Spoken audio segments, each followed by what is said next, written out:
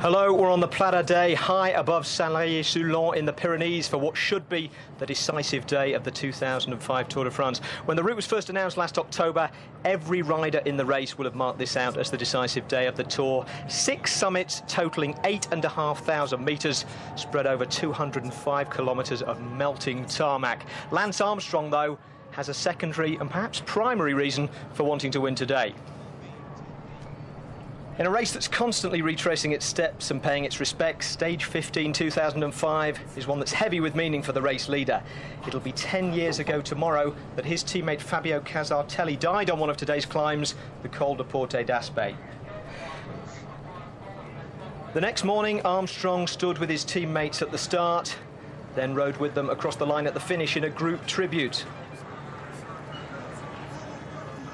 Two days later, he paid his own with a brilliant solo stage win. The last time the tour came this way in 2001, he did the same. On this, his last ever tour, expect to see the full force of Armstrong's will to win on show today. And if he exercises it as expected, his seventh tour victory could be all but secured. Chris Boardman, this is the day he's marked out to win. It's tremendously difficult. He's the strongest man in the race we've seen so far. Will this be his first stage win? Well, today is going to be a very, very difficult day. He really has to concentrate on the overall first and foremost. I wouldn't be surprised if his, his chances are spoiled by a large breakaway, but it's all going to happen near the end. Uh, certainly the motivation is there, but it's really going to depend how the rest of the day goes. But there's personal motivation, as you say, but he is ruthless enough, if it comes down to it, not to let sentiment get in the way of his overall victory. That's what he's really looking at. Well, there's one thing that Lance is good at, it's prioritisation, and today, first and foremost, is to win the Tour de France. Secondly, if he has the opportunity opportunity, then for sure he will take it. All right, what about his rivals? We've seen several of them have a go. Vinokourov has a go every day, although he yo-yos off, off the back at the end of it. Is anyone strong enough to attack him today? Well, I think this is the day that CSC really have their last chance. We saw Basso, he really gained confidence yesterday, and I think if anybody's got the legs left, uh, T-Mobile yesterday, perhaps CSC today. All right, well, before we join the race, let's have a look at the way the overall standings are coming into this stage. Armstrong has a lead of 1 minute 41 over the man in second place, Michael Rasmussen. Then it's Ivan Basso and Jan Ullrich in the positions in which they finished last year's tour, 2.46 and four and a half minutes back, respectively. Levi Leipheimer and Floyd Landis make it three Americans in the top six. Mancebo, Klöden, Vinokourov, Moreau, Jaksche, and Cadel Evans round out the top dozen places. Let's have a look at the stage profile. The Portet d'Aspet, the first climb of the day, then four first category climbs before the final one to the finish, which bears the special beyond category designation. Well, if Lance's intentions weren't plain enough already, they were spelled out today at the start in five letters. Fabio was the single word on the armband he pulled in, and so far he's been riding safely in the group. They passed the Casartelli Memorial on the descent of the first climb and he'll be back there incidentally on tomorrow's rest day to take part in a small ceremony. Now, while the bunch were pacing themselves for this marathon day, a group of 14 riders broke away. That is now down to six. George Hincapie, Lance Armstrong's teammate, is one of them and they are on the fourth climb of the day, the Col de Peyresourde. Armstrong's group is now less than 14 minutes behind them. Let's get over now to join Paul Sherwin and Phil Liggett for live commentary.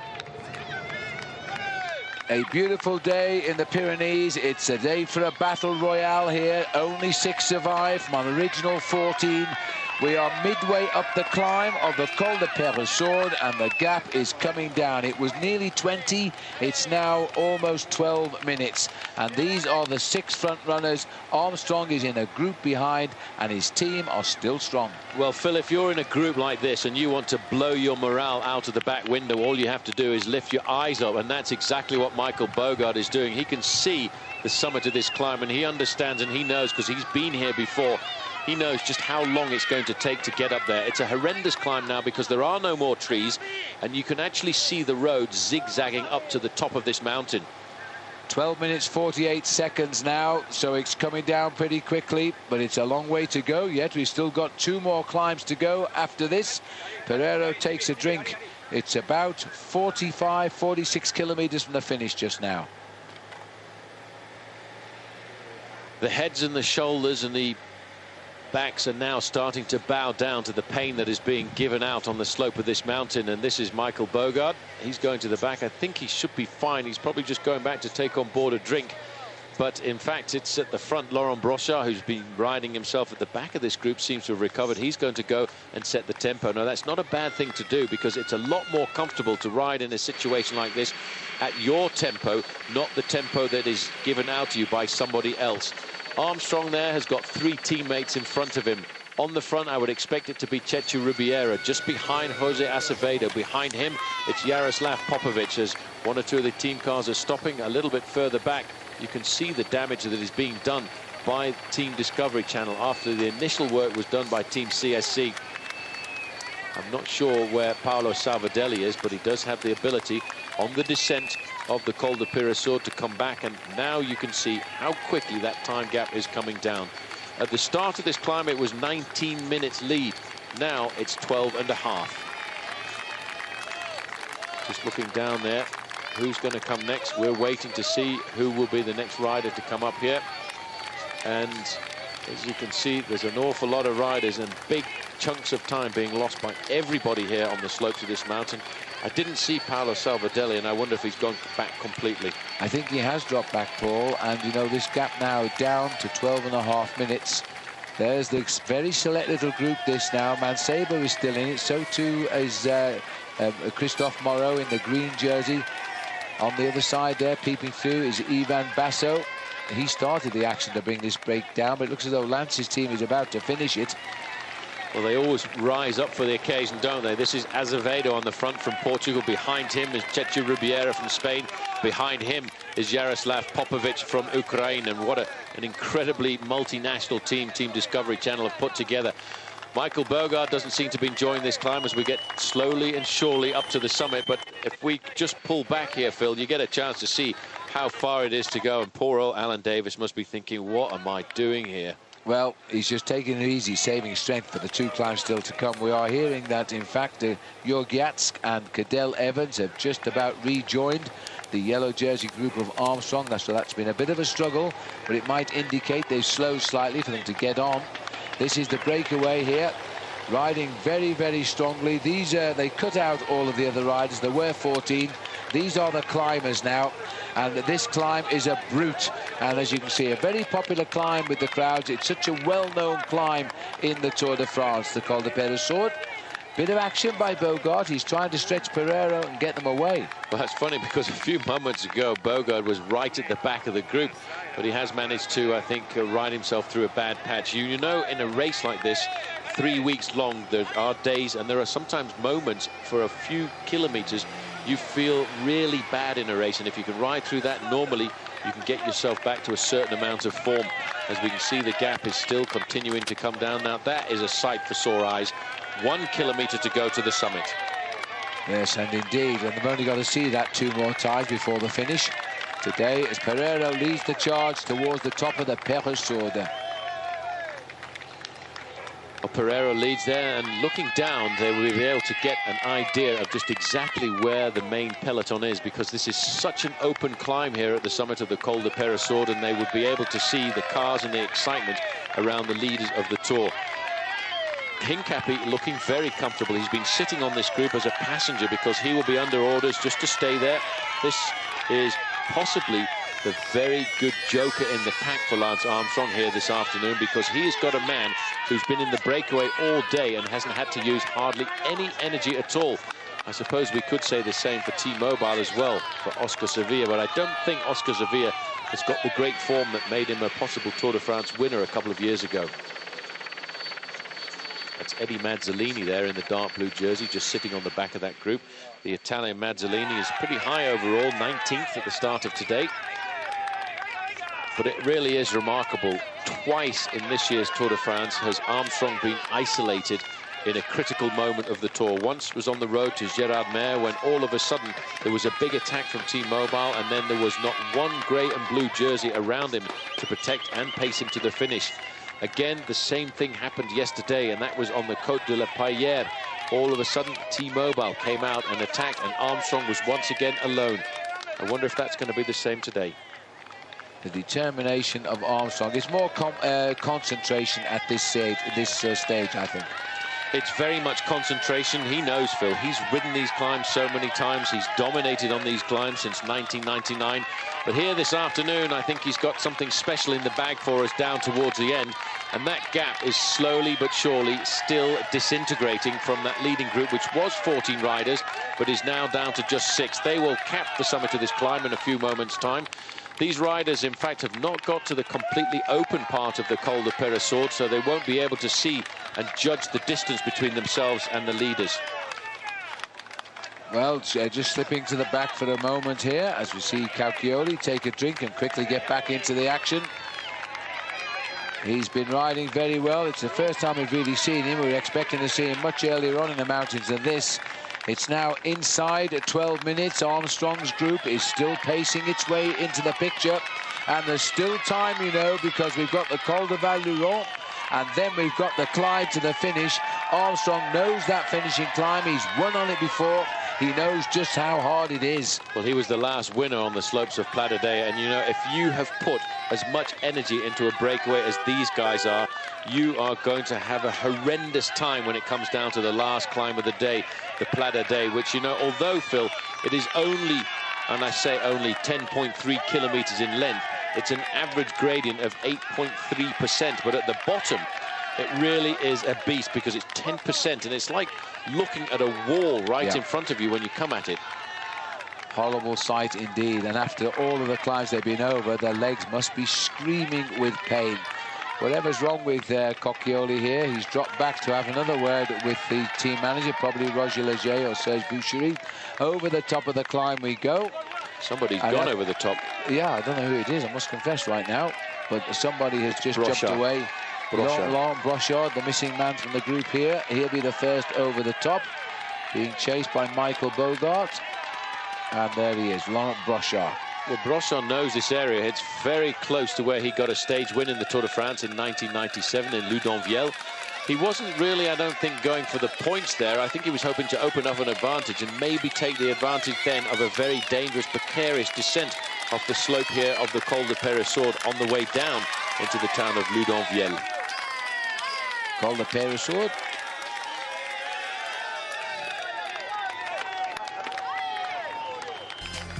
Hola, soy Alberto Contador y el tour vuelve después de la publicidad.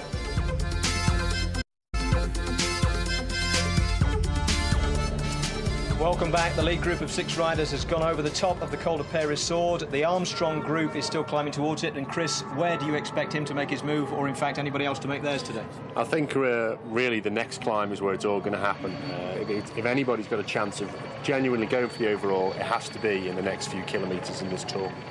All right, the Col de Val Louron-Azet is the next climb up. Then they've got the hors categorie climb up here to the Pla d'Adet at Saint-Lary-Soulan. At the moment, they're still climbing to the top of the Col de Peyresourde.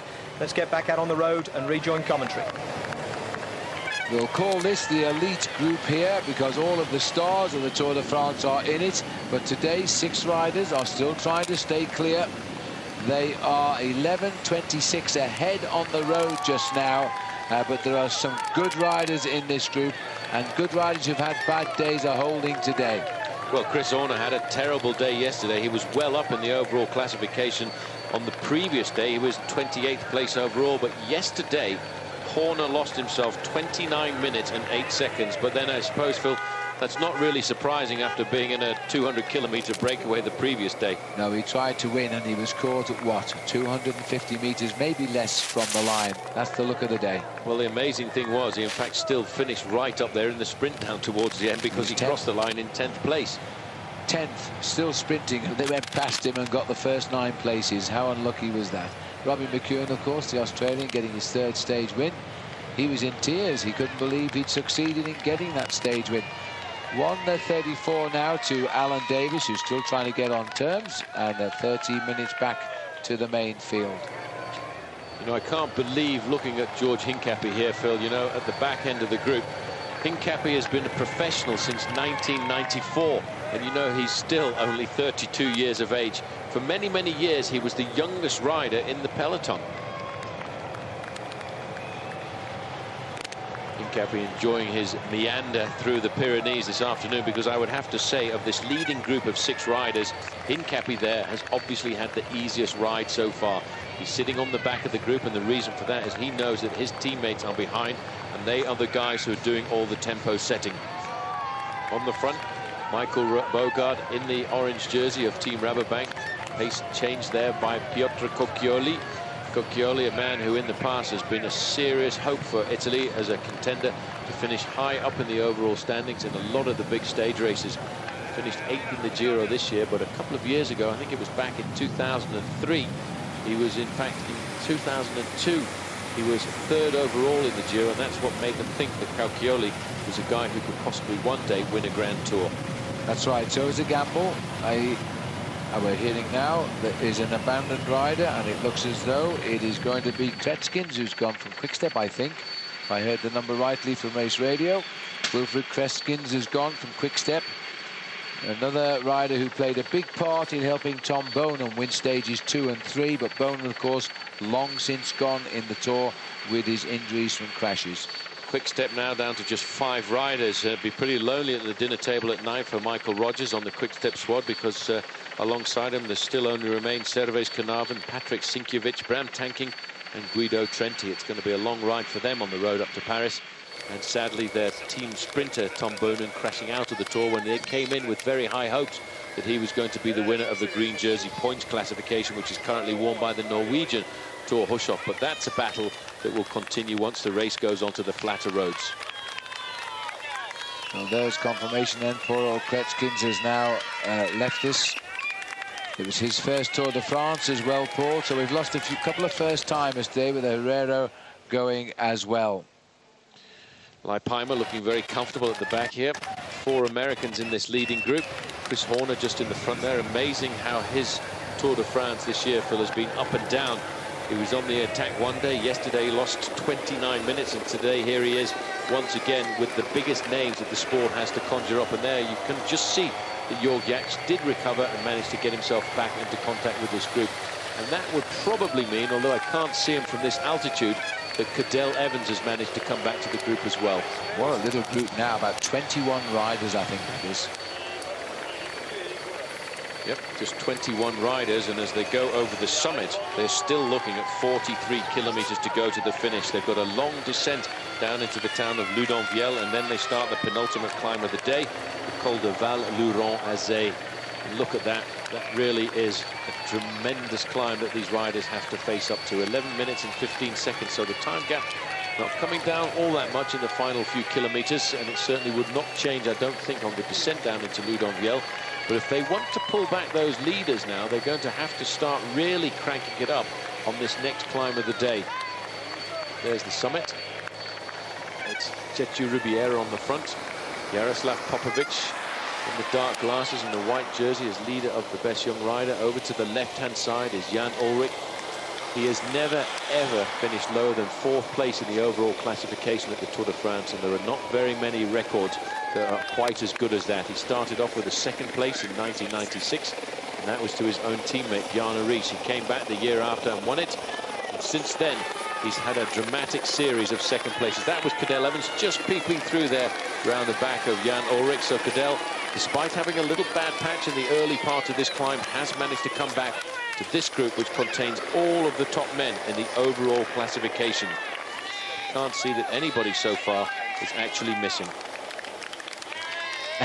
so we're in trouble here, Paul. I couldn't remember the rider making the pace at the front, but it, they, I was just saying they pulled back here almost five minutes now uh, on this climb alone on those six leaders. Well, that's Chechu Rubiera on the front. He's doing much. a great job. The man behind him is Jose Azevedo, and of course the man who's very easy to spot out in the white jersey is Jaroslav Popovych. So Armstrong has still got three very strong allies on his own team here up alongside him. As we notice, Cadel Evans has pulled himself back into this group. We're going to have a major sort out, I think, and yes, it is down to 11 minutes and 15 seconds, but you see the wind that is starting to get up on the summit of these climbs. Yep. And actually, looking out from our finishing line commentary box, you can see that the wind is blustering into the riders' faces for the finishing straight. Well, officially now they're saying they've gone over the summit, 11 minutes and 30 down. There were 16 at the bottom. There's two climbs still to come. Oh, boy, that makes a lovely picture, but not for the riders in the Tour de France today a vicious, vicious stage indeed.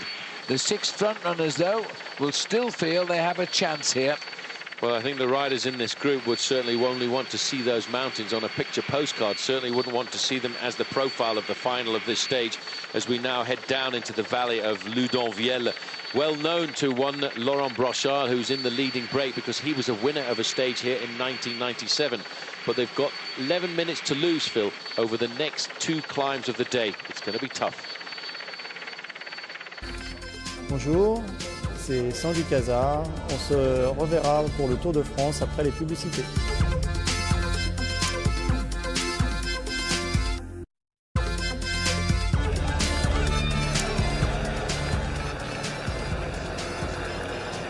Pereiro is the man with the most again. He started the day fairly well up in the overall classification. He started in just 24th place with a gain of 10 minutes. He would climb up to 15th place overall, but I think he's going to lose a huge chunk of this advantage down before the end. Hincapie is the second place rider in this leading group. He's 25th at the start of the day, 24 minutes and 59 seconds in arrears.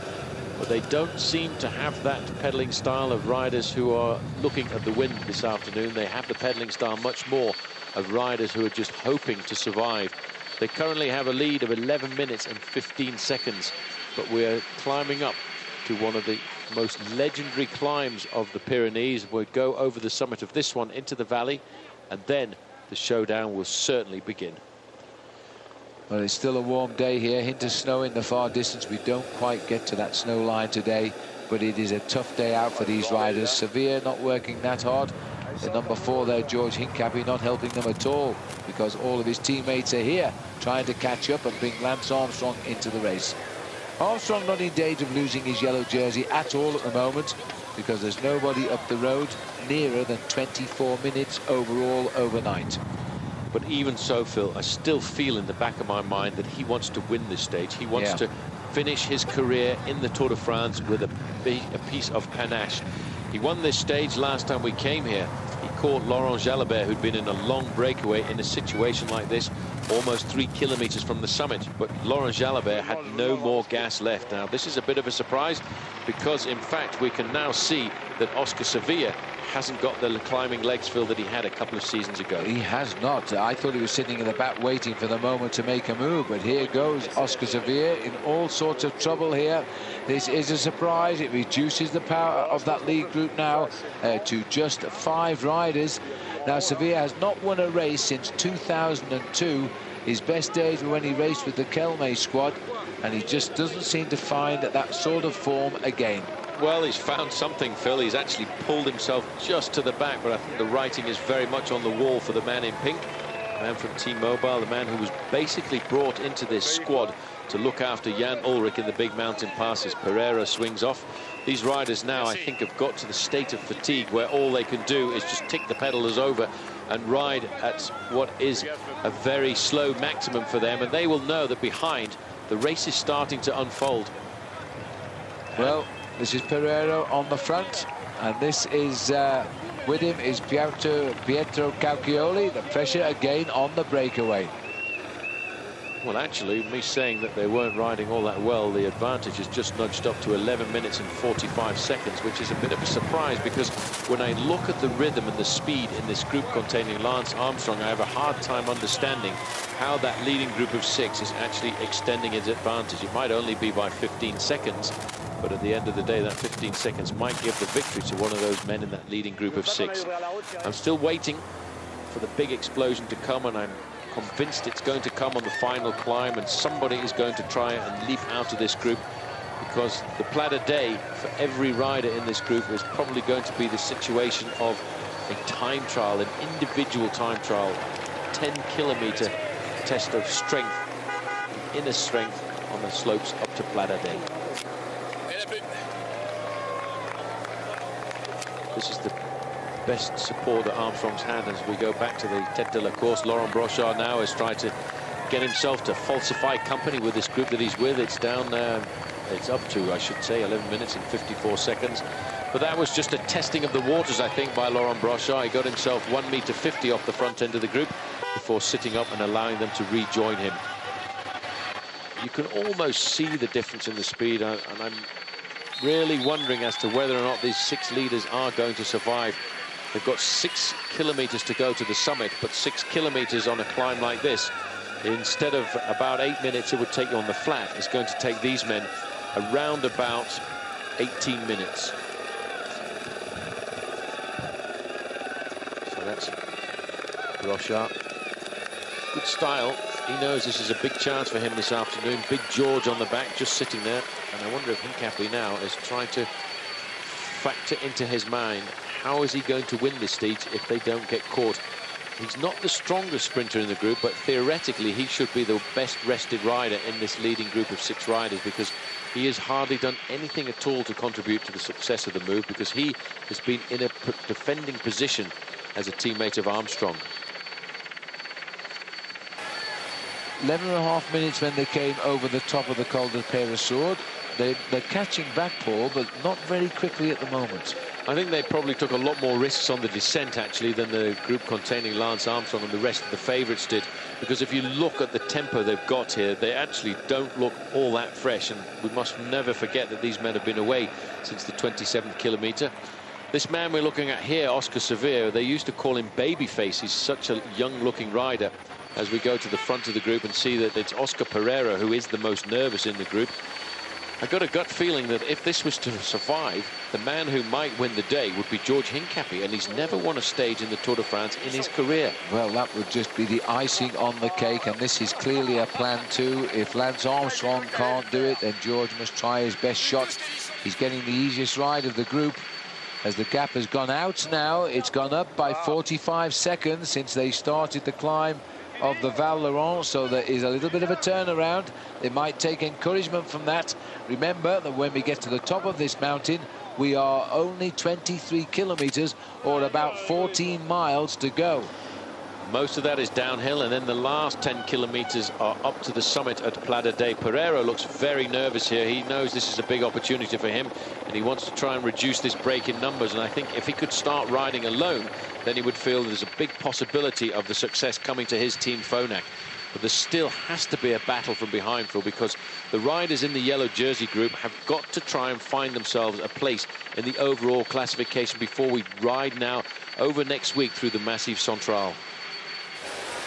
Well, two riders have gone out of the race today, David Herrero and Wilfried Cretskens, bringing the field to 158. This very select group is 21 strong, containing Armstrong and the principal rivals in the Tour de France. As we now look here at the rear of the group, that is Christophe Moreau asking for drinks. He was third and plummeted out of the leaderboard yesterday. Uh, Christophe Moreau, and he missed all of the moves. No longer a challenger for a podium place in Paris but he's back in the right move again today. Well, you look at the speed, I really can't believe, Phil, that that group of six riders off the front is going to survive because that speed is incredible on this flat road running up to the bottom of that climb, the final penultimate climb of the day. And it looks to me as if Paolo Savoldelli has recovered. Well, he's got back in, that's for sure. He's having food at the front. Good for him. But the gap is going up. Hola, soy Iván Mayo, más del Tour en dos minutos.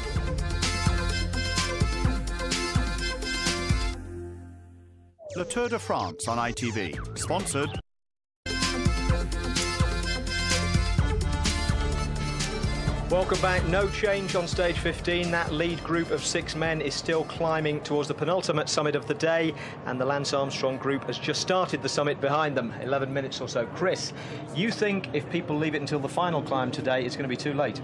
I think so, really. It's got to be now, and uh, for me, my, my money would be on Basso to have a go. We've seen Sastre moving to the front and working hard, uh, and I think he could be trying to set himself up, and it's got to be lower down the slopes. It's not a long climb. All right, and the longer they leave it, the more that six-man group has a chance of producing a winner today. Let's get back out onto the, ra uh, the race, out on the road now, as we see a CSC man dropping off the group. Here's Phil and Paul. Bobby Julich just uh, latching on to the Armstrong group has now been unlatched because he is getting dropped again.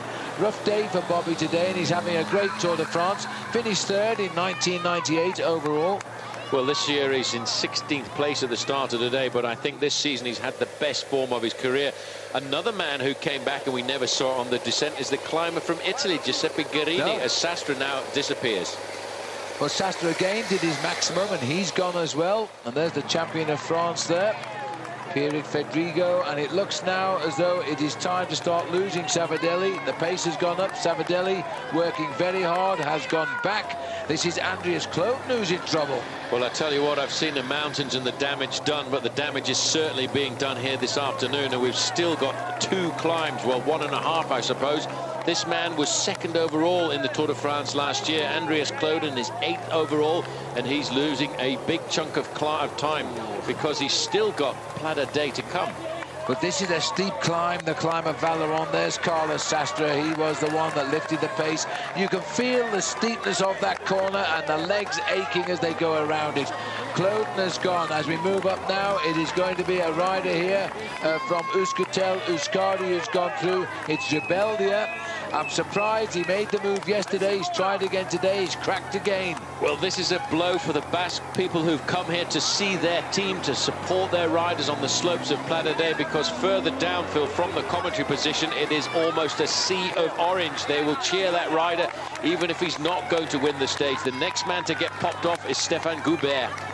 Goubert, who's a real promising rider, but not today. He also says goodbye, the Frenchman. And now we've got another major casualty here as well, because this is Alberto Contador. Well, he's a developing rider, a rider we'll talk about in the future of the Tour de France, and he stayed in that group for a oh. very long time. Around the corner, the next man to go, it looks like Yates. Yates. Yeah, it must be. There's no more left for Liberty, is there now? As we see these riders. You can feel this climb, just how hard it is on these hairpin bends. And it, we'd like to get to the front now and see who's lifted the pace. Absolutely horrible, this climb. It is a very rough surface on the road. You feel now as if your body and your wheels are getting stuck to this road. Cadel Evans is there. Look at Christophe Moreau, mouth open, gasping for breath. The psychological thing for these riders, Phil, is they know it's hard here, uh, and all of them know how hard it's going to get. If Cadel Evans has learned anything from his first Tour de France, it's how to hurt himself because he has showed tremendous courage. Uh, it was also Chris Horner on his left shoulder there. Now we're looking from the helicopter. Boy, this is a select group of bike riders now. Team Discovery Channel on the front. This time it's Jose Azevedo, the Portuguese rider from the squad, who's decided he wants to whip up the place. But here is Alexander Vinokourov. Oh, He's coming. Dear. There'll be trouble now because this man will lift the pace. He never knows when to say enough isn't enough is enough. Alessandro, he's the champion of Kazakhstan, by the way. He's looking over, just seeing, and I think he's an acceleration. This is going to cause, I think, a depletion of possibly Discovery Channel again. Well, it's got rid of this man, number 12, Guerini. It's got rid of Francis Moreau, oh, Christophe bang. Moreau. Guerini's gone. Well, this is the pressure and the acceleration of T-Mobile. I wonder if he's trying to leapfrog over Andreas Klöden, his own teammate, who's about a minute and a half in front of him in the overall classification. And that's the first in Discovery, or is it the second? That's Rubiera who's gone. Chechu Rubiera, job done for the day, and we're not going to have very many riders left with this pace, Phil, at the top of this climb. Let's move more further forward. That's Moreau. Gone. You can tick them off now because this is the move to try and reach the leaders. It had to come on this climb because the last climb, they will need to make the progress. Ullrich is poised and Armstrong is in the right position. Chris and watch out Mancebo on the far right. Chris Horner has gone. Discovery Channel have not quite lost all of their riders yet because Jose Azevedo is still sitting on the back of this group, but only by the skin of his teeth. The Col de Val is proving to be the decisive mountain on today's stage. This is Cadel Evans now. He's also unhitched. He's refound Moreau. They're going to try and work together. It's going to be tough to get back. Alexander Vinokourov uh, Jan Ullrich, Ivan Basso, and now Lance Armstrong saying something to Azevedo. But they haven't got rid of Rasmussen. They have not got rid of the man who lies in second place in the overall classification. Acceleration now from Ivan Basso. Ullrich responds. So does Lance Armstrong. There's somebody on the right here. I thought we saw Azevedo, but maybe I was wrong. Now this is the acceleration from Ivan Basso looking over to see what kind of damage. You can see Azevedo actually disappearing in the distance. His job done for the day. And in fact, there's a gap here. Ullrich cannot hold the pace of, of Ivan Basso. But he gets the big diesel oh. engine going. Another kick from Basso. Armstrong must respond to this. And he's gone round Ullrich, and I'm not sure Ullrich has the power. These are the big three of the Tour de France. And now it is Basso and Lance Armstrong and Ullrich. He's struggling, but he's catching up. This is almost an action replay of yesterday. The three big men. Here is Karsten Kroon. He's been caught. And look at Basso. He wants to win here in the Pyrenees this afternoon. He's got Armstrong right on his wheel. And Ullrich again, Phil, because of that big gear, the massive gear that the German turns over, he cannot respond to these accelerations of the men who can climb mountains fast. Well, Basso is now trying to race himself into second place. This is Jaroslav Popovych. His job is done. He'll try to just stay in that white best rookie jersey now. This is the chaos on the climb of Val Thorens and Michael Rasmussen. His second place is now in serious danger. That's Eddy Mazzoleni. He's high up in the overall classification. Started the day in 19th. He's gone off the back. But, you know, just looking through the chaos of the cars here, I can see that Alexander Vinokurov is still in contact with that small group. Two men now. This is the face. This is the mask. This is the big match day for Lance Armstrong. I knew and felt, Phil, this morning at the start, he was going to do something special. He's been waiting for this to happen. Looks over his shoulder. He has the presence with him of Ivan Basso, and Ullrich is gapped. Well, uh, uh, the way Armstrong looked there at Basso, he wants Basso to stay with him. He needs Basso at least till he gets to the last climb of the day. It's two against one just now. Ullrich has just got a fraction of a gap between him and Basso and Armstrong, but he won't give up. I think Jan Ullrich this year has got the best Here position he he's ever had at the Tour de France. He's got the best condition. He's prepared, but the problem is he's had an awful lot of bad luck. Phil, he crashed the day before the prologue. He had a nasty crash on a descent on the road down into Mulhouse, but he has suffered through it. He hasn't complained at all about his accidents, and he's still the third strongest man in the Tour. I've never actually heard Jan Ullrich ever complain, and he's had some serious criticism against him. But look at that. He showed us a great day yesterday. He's fought back into the picture again. Basso's seen him come on, a little bit of an acceleration just to try and hurt him once more. As Ullrich gets on, I think he's lost ground again. Well, Ullrich is a battler. This is the next group on the road. Vinokurov struggling to stay on the back. That's Leonardo Piepoli in front of him. Levi Leipheimer in front of him. Floyd Landis again. But Alexander Vinokurov, Phil, he has no fear at all. He doesn't care about what's happening in the race. All he wants to do is attack and create damage. Well, that's Vinokurov now sitting behind. That's Levi Leipheimer sitting behind Floyd Landis. Floyd Landis sits behind Rasmussen. Rasmussen is losing his second place overall. There is no doubt about that at the moment. As we're seeing the riders coming clear, this is an amazing break at the minute, but they're really turning the screw hard. They're really turning the screw hard. A lot of riders battling to try and get themselves back into this race. Francisco Mancebo is a long way back. He's the man who started the day in seventh place overall. But what is happening here is the toughest three men in the Tour de France are in the three premier positions. Ivan Basso, Jan Ullrich and Lance Armstrong are locked together in what has been a very private battlefield over the last three years. Ullrich is the man to hang on. Lance Armstrong is the man to try and fly. These three unbelievably superb athletes in the world of cycling. They have been rivals for years, and here they are, locked together in battle, all of them too proud to say, I'm tired and I've had enough. Well, you know what, Phil, it is actually almost a little bit sad to see this, because this, I feel, is going to be the final showdown. The three great men who have dominated the Tour de France over the last few years, and someone's coming back there. Mancebo, yeah, chased by Landis, Rasmussen, Leipheimer, Leonardo Piepoli. Well, does anybody give up in the Tour de France? Apparently not, because they just suffer and try that little bit harder. Here is now Alexander Vinokurov trying to get back onto the group with Leonardo Piepoli just ahead. This is Armstrong. Well, Armstrong's hiding nothing now either. He wants rid of these boys. There is nothing he can hide. There are no more teammates left to pace him. It's all basically him against El Ullrich and Ivan Basso. His face now is getting himself into that zone where he will concentrate. This is the kind of concentration that he applies when he rides time trials, and he rides time trials very fast. Let's not forget there are six riders somewhere up the road. There's a bit of debris in between as well, and these boys are riding at just over nine minutes now behind the which contains Hincapie and Michael Boogerd and Pereiro still. Here they are, chance to have a look at them. This is uh, Hincapie, sat at the back as he's done all day long. He's there for Lance Armstrong. He won't help. he won't help at all. He's just sitting there and waiting to see how the race develops. And I think the most important thing for Hincapie is when it comes down to the end, what he wants to see is whether or not Armstrong comes back, because he knows if Armstrong does come back, he will still be there to help him out. And think about that tactically. If this group of three riders manages to catch all, uh, Hin uh, well, then Hincapie's got himself into a nice tactical situation to help Lance. It's an incredible move and it's working so far. Michael Rasmussen here fighting for his second place podium in Paris. Ivan Basso has started the day one minute and five seconds behind him overall and right now he's ahead of him by a few seconds. Landis has never ridden a Tour de France as good as this. Mancebo has clawed his way back into the action. All of these riders are not going to give up without a fight. They are pushing themselves to the ultimate limit. Well, we're looking at the six leaders, and they've already lost a couple more minutes of their advantage because it's actually now just slipped down to nine minutes, and Hincapie is still sitting there looking comfortable.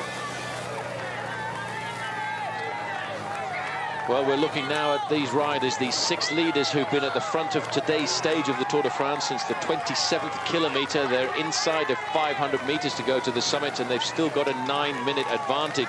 Theoretically, on any other day, that should be enough, but I'm not sure that it is going to be enough here this afternoon because I think we're going to see an immense pursuit up the slopes of the Pla d'Adet. Vinokourov has recovered. He's managed to get himself back into contact with Piepoli, Mancebo, Rasmussen. But Rasmussen here could be seeing his second place in the overall classification disappear. He started with a minute's advantage over Ivan Basso, and right now he's going to have to do something special. He's lost 35 seconds of that, but we've still got an unbelievably difficult climb to go to the summit of Luz Ardiden, of, of I should say Pla d'Adet. Pereiro, he's the strongest rider in the group, but this man over on the left, Laurent Brochard, is the most tactically intense rider of the group. He knows about this area. He's raced and won here before in the past, 1997. He's looking to get himself points in the King of the Mountains classification, which he does. And I wouldn't be surprised to see him continue on the descent because he's also one of the top descenders in the sport. He doesn't have that many points. The points in the King of the Mountains classification is Michael Rams Rasmussen with 174 points to Christophe Barrault's 89 and Santiago Botero's 88. On the descent, I don't think they'll take too many risks, but they dare not lose too much of their advantage because over that last climb, they lost themselves quite easily two and a half minutes. And that goes to the five minutes they lost on the previous climb, and the biggest climb of all is still to come. 8.56 now to the Rasmussen group, 8.27 to Lance Armstrong to the leaders on the road. Armstrong is trying to finish this off with a last big showdown in the Pyrenees, and he's only got two men to worry about. And the two men that have worried him for the last number of years, Armstrong, Ullrich and Ivan Basso. Basso actually looks very comfortable there. You can see him tickling over those pedals very nicely, nice and calm. These, Phil, are great champions that we are looking are. at here this afternoon. You know right now, there is no tactics. These men are all giving everything because they want to have a big showdown on the final climb of the day. And they don't want that showdown to be for seventh or eighth place. No, we have to be absolutely honest and say these are the podium in Paris, and that's the way it should be. It may not be the way it turns out, but they are showing themselves to be the best three bike riders in the Tour de France. And they are working together now. You saw the arm flick from Armstrong. That's come on through and do your bit.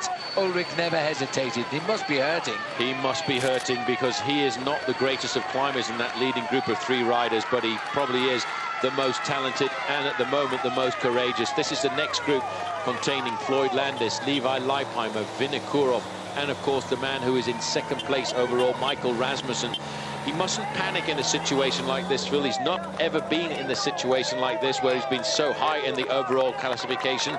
But if he panics, he'll push himself into the red zone and he will crack on the final climb and he could see himself losing four or five minutes. Well, we'll see what happens. There are still one mountain day to come, but it's a flat finish. This is the day they must race for the time. There may not be such big time gaps on Tuesday when the race resumes.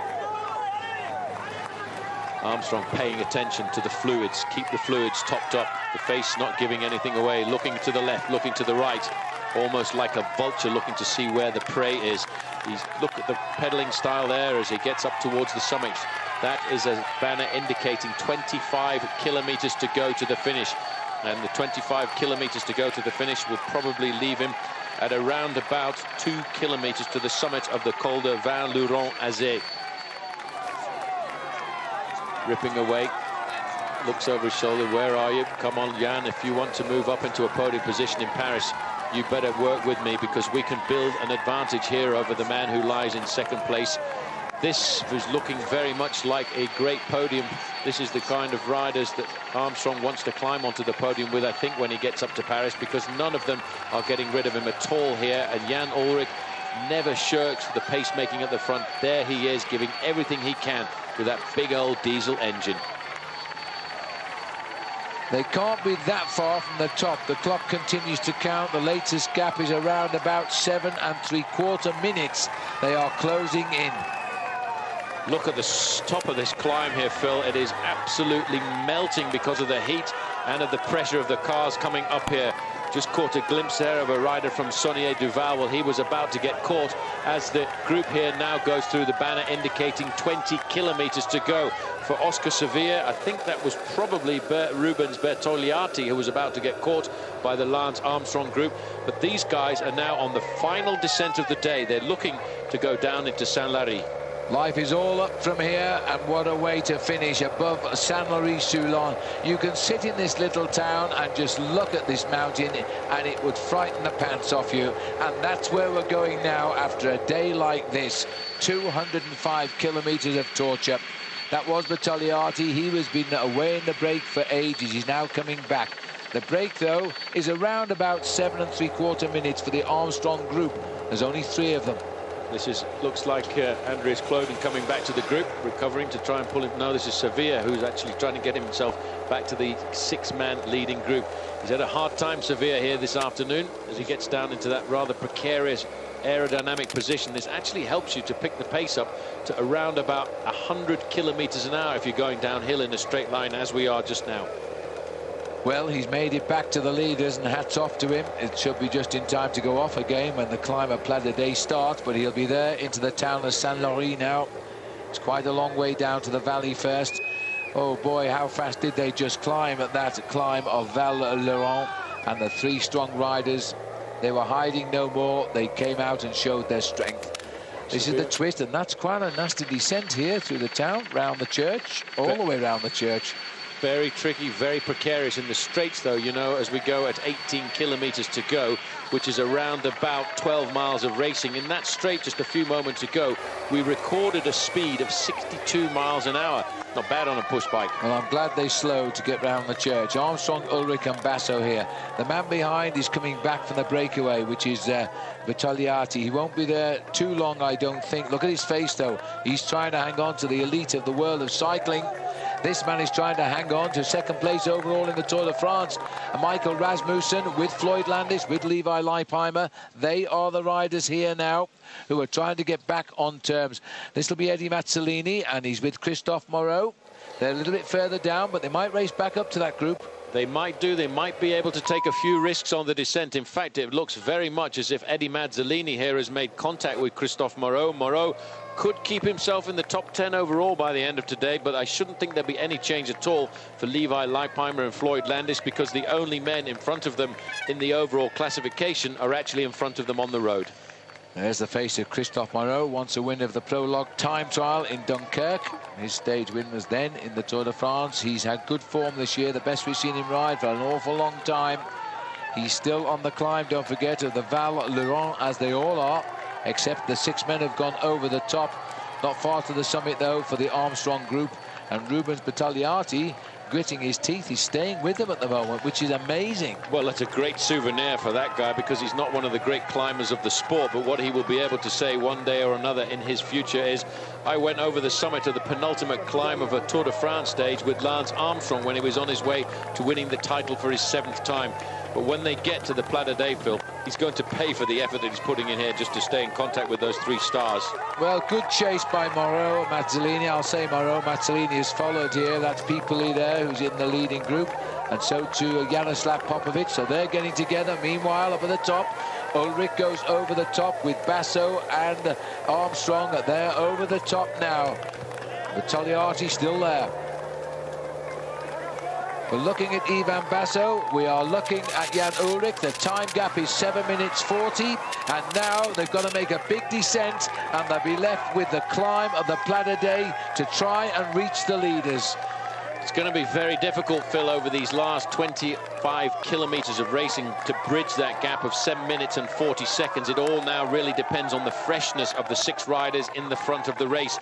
In fact, another man who's recovered rather well here to get back into this group is number seven there, Yaroslav Popovych. He had to do a lot of work in the early kilometres of this climb for Lance Armstrong, but he is very well defending his lead in the best young rider competition. He may well be the star of the future.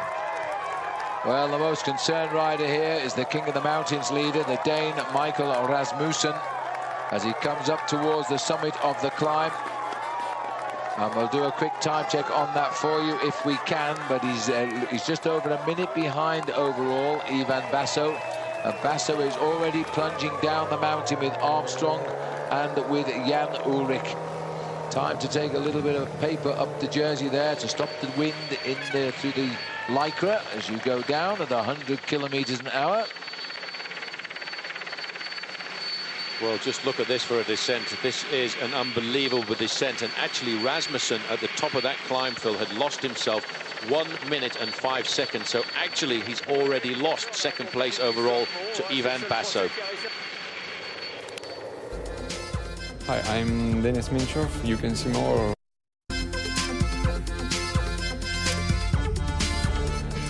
Welcome back. Well, somebody had to attack off that league group sooner or later, and it's Laurent Brochard in the town of Saint-Lary-Soulan. He's trying to get away, get himself a little gap. Only the final climb to go. Chris, time to pick a winner.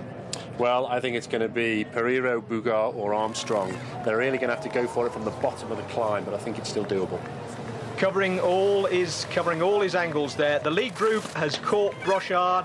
Can Lance Armstrong and his group catch that group of six men ahead of them?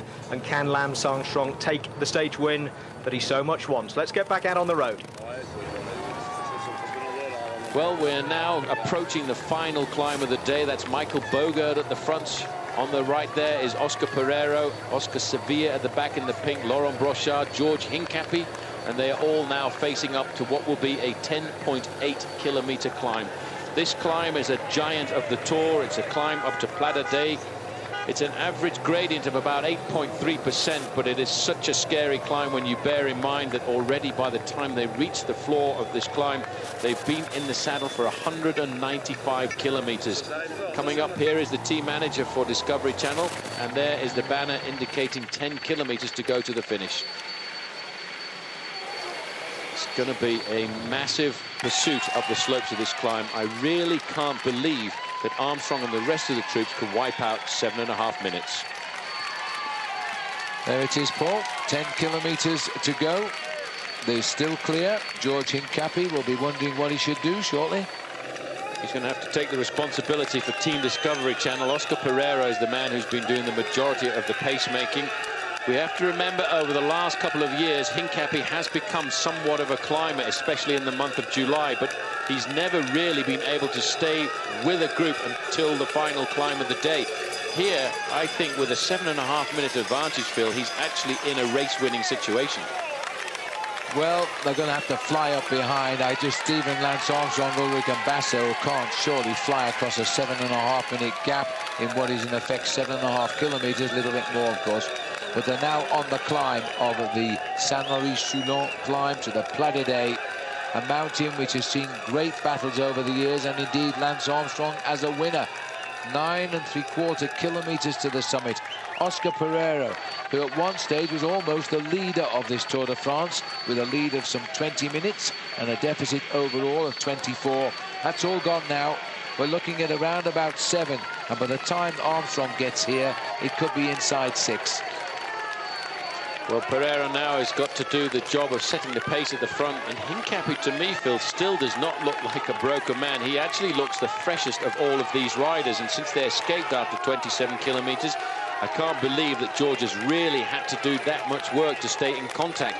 He's very much been in a defensive role here this afternoon, And that is probably going to go to his advantage because all of these men are extremely tired.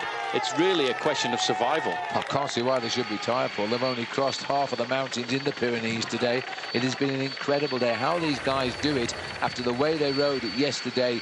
Look at this. Oscar Sevilla, who has been off the back, has decided the best method is to attack and see what happens. And he's got himself a gap. Well, Sevilla is a great climber. We've seen him in the Vuelta a España in the past. Let's not forget this man was the white jersey, the best young rider in the Tour de France. The strategy here is to try and get himself a stage victory if he can. He's not been riding well over the previous climbs, but if he can cause the other riders to panic, this may well be good for him. But look at the way Oscar Pereiro is coming back. Pereiro has been the instigator of this move. He's done the majority of the work, and sorry, Oscar, you're not having a win quite that easily. Well, that's going to hurt Oscar now because Pereiro has taken up the race here and has gone straight over the top of Oscar Sevilla. I'm not sure whether this was planned to be quite so early, but Oscar Pereiro has got himself a little bit of a lead. Boogerd won't like it. Here comes Boogerd. George is right behind him, Hincapie, and they've hooked up with Pereiro. Now there are three. Now there are just three riders. Michael Boogerd making the effort to get across to Pereiro. Brochard there paying for all of his attacks. He's going to slip back to sixth place on the road. In front of him, Sevilla. In front of him, Caucchioli. Hincapie responded superbly there to ride across that gap. And if he can climb up this climb, Phil, the best he's ever climbed in his life, he could be looking at a brilliant victory. Well, what an incredible day, inspired perhaps by the loss of the teammate Fabio Casartelli 10 years ago to this very day. Hincapie is now, it's on his shoulders to try and keep the victory in-house. Lance Armstrong, he'll keep his lead in the Tour de France, but he surely can't reach these three. Well, Hincapie didn't ride the Tour de France with Fabio Casartelli. Hincapie's first Tour de France was 1996, but he did ride as a teammate with him for two years. Hincapie turning professional back in 1994 for the then Motorola squad. Three talented boys, well known to us. Oscar Pereiro, Michael Boogerd, George Hincapie trying to move clear on the climb. The gap is seven and three quarter minutes to the yellow jersey of Lance Armstrong. Boogerd, has, his whole day has been built around winning here at the finish. At one stage, he had two riders of his team in the breakaway with him. They've fallen away now. 7.42 is the latest. Lance is still coming in the group. Well, if it comes down to a sprint, I know who my money's on, but I'm sure it won't come down to a sprint, as you can see Pereiro looking over his shoulder to just try and ascertain what the gap is back to the chasers behind. But we're now down to just three riders from what was originally a 14-man group. And Hincapie getting out of the saddle there, but still looks reasonably comfortable. He still does, and he's tucked in nicely. Look at the crowd here this afternoon.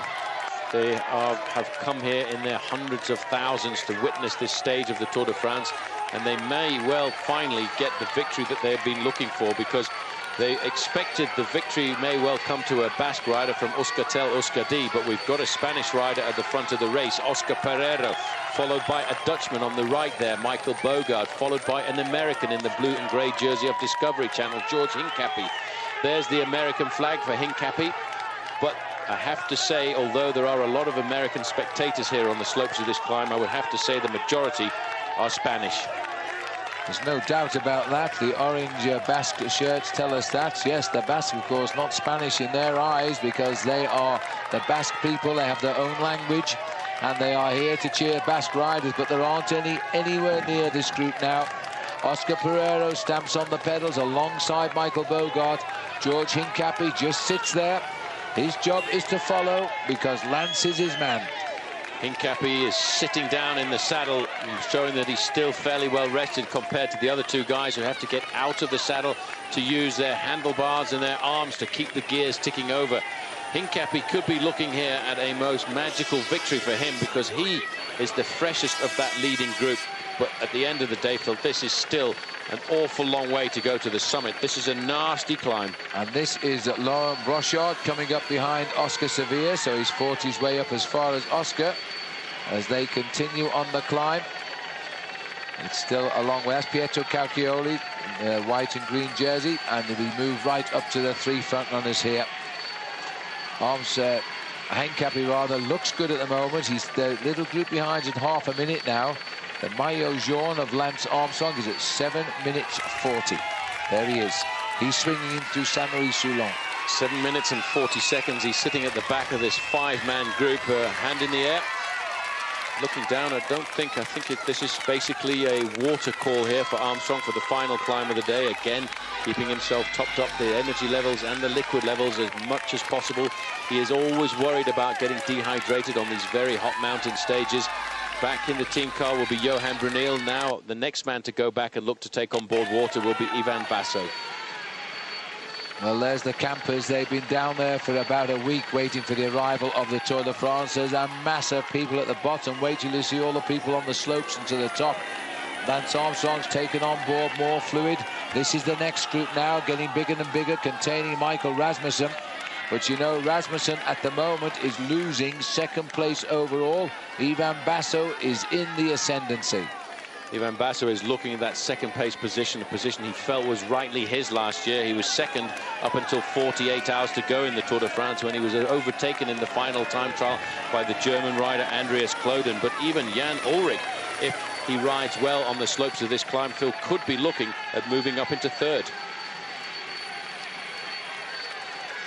On the early slopes of the climb. This is the difficult part of the Pla d'Adet. You've come along the valley floor through the town of Saint-Lary. And Armstrong now is going to the front with the three men with him. Those two guys at the back must be wondering what kind of a bus have we got tickets for here? Because that is Bertogliati, who was in the early breakaway. He's definitely not one of the great climbers. The next man up there in the blue is Jérôme Pineau. But I'm sure once these big men start to turn up the pressure, they will disappear from the group. Further up, still with seven and a half minutes advantage at seven kilometres to go. It's Oscar Pereiro in the green and yellow of Phonak. The blue and grey is George Hincapie. Michael Boogerd has won two stages in the Tour de France before. One of them on the outskirts of the Alps in uh, Aix-les-Bains, the other in the very heart of the Alps at the summit of La Plagne. And today he's looking to add one in the Pyrenees if he can. But this is going to be a serious battle between three men who must by now be extremely tired, having led the race for since the 27th kilometre.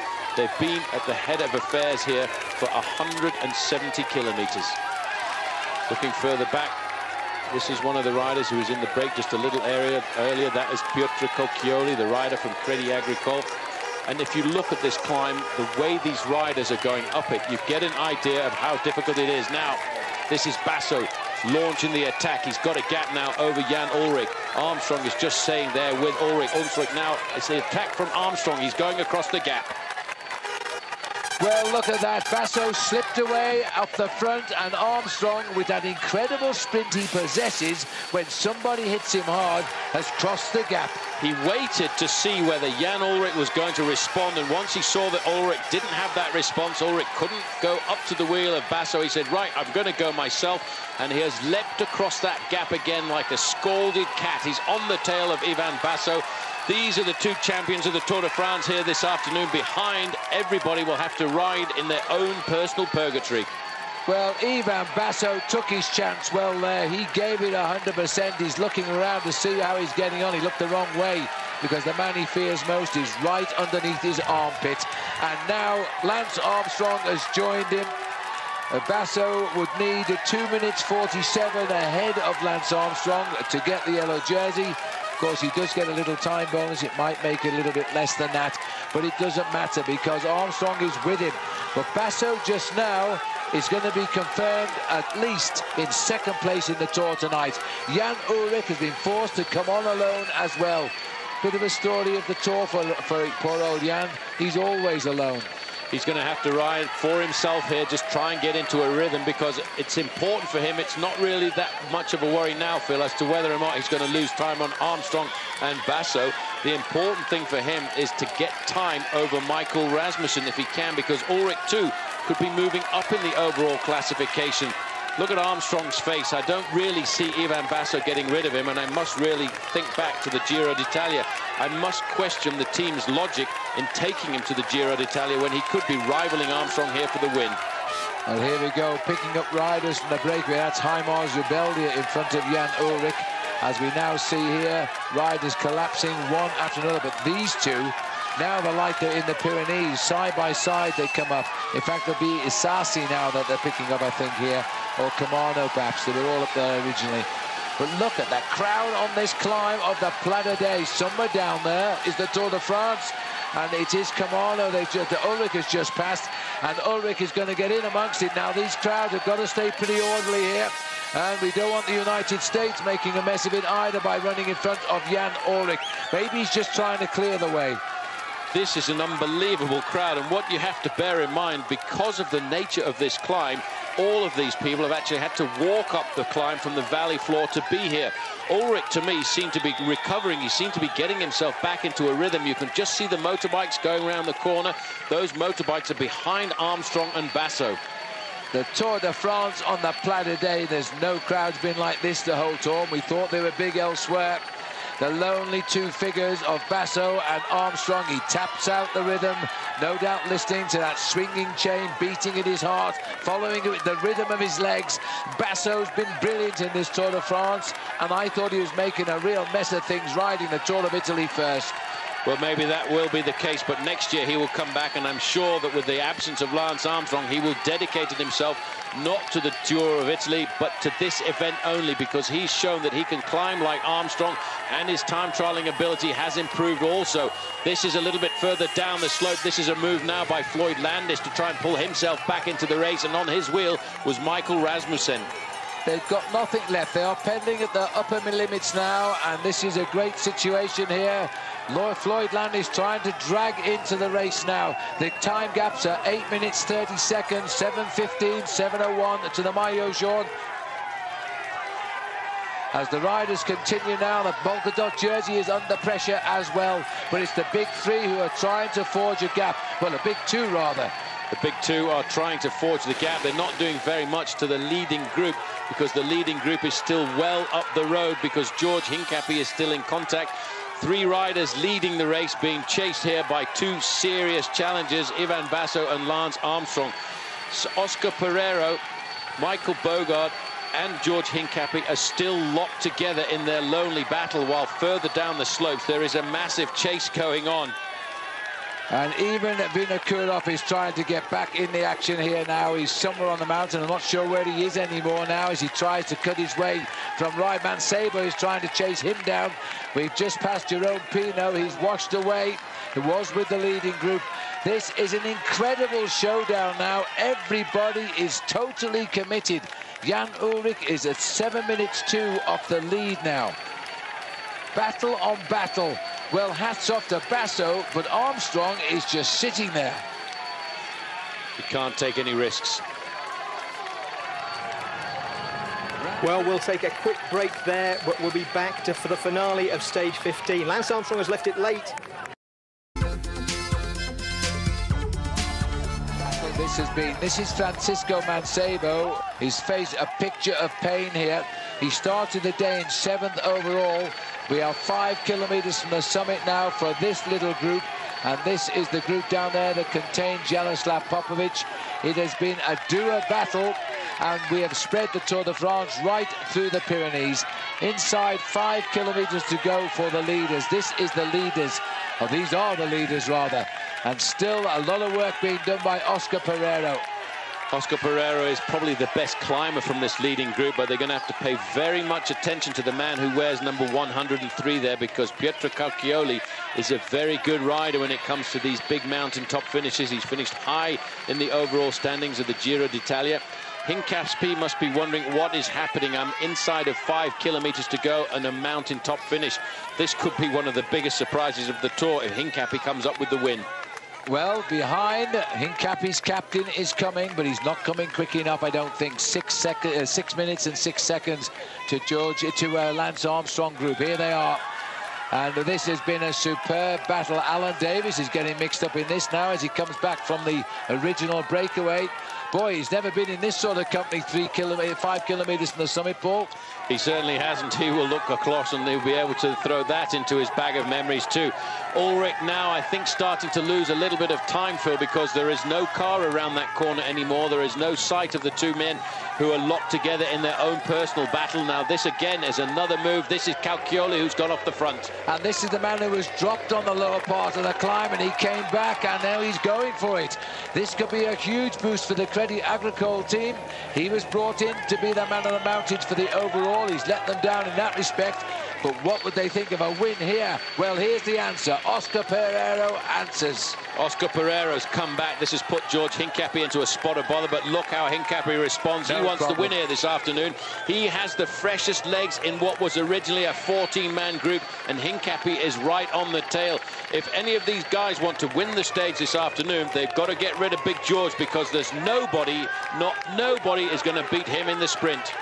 Well, uh, don't be surprised if George tries one of his own here because he's so strong. He's taken a leaf out of Lance Armstrong's book and just sprinted across the gap. Pereiro might say to George, look, we've got to go. We've got the other two. Let's leave it and fight between ourselves. Pereiro takes it up. George Hincapie follows. The other two have cracked Boogerd as well. Well, that was a great response by Hincapie. Pereiro now, Phil, actually doesn't really know what to do. He knows the power of George Hincapie. You know, Hincapie's had a good season as they go inside of four kilometres to go. Hincapie's had three wins this year. Two of those came in the Dauphiné Libéré just three weeks before the start of the Tour de France. It's going to be a tough job for the man on the right-hand side there to beat the man in blue and grey. For 10 years, George Hincapie has been running in the Tour de France. He has never won a stage. He's always unselfishly been at the side of Armstrong. That's why he's here. That's his raison d'etre. And now he's got the chance of a lifetime to win one for himself. Both looking back, they're both nervous, as you can see the banner there indicating the four kilometres to go point. And Hincapie is wondering, can I stay with this man? Because this man, in theory, on paper, is a superior climber to me, but that's not at the end of a long stage like this. Well, as we go back to Ivan Basso and Lance Armstrong, they're alone again. And this is another man who's been alone since the climb started, Jan Ullrich. But that car is just in front, and the other two are just ahead of the car.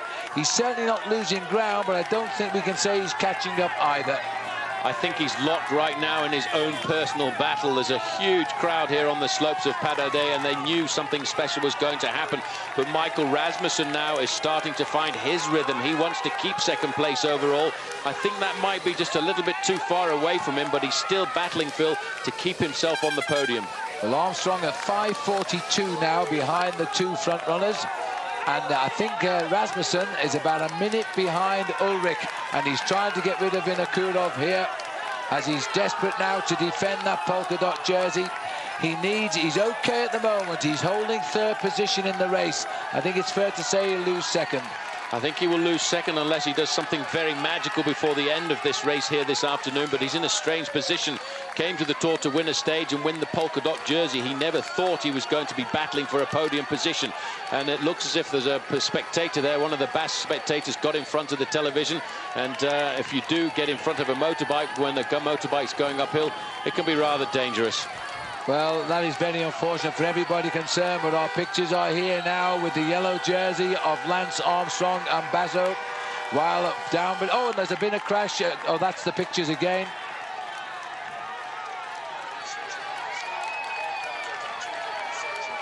Well, Armstrong and Basso are locked together in a major battle while further up the road we have got an unbelievable battle going on. It's so dangerous for the two leaders. You know, just a few moments ago there was a nasty accident when the motorbike camera behind the two leaders, Pereiro and Hincapie, in fact rode over the top of a spectator.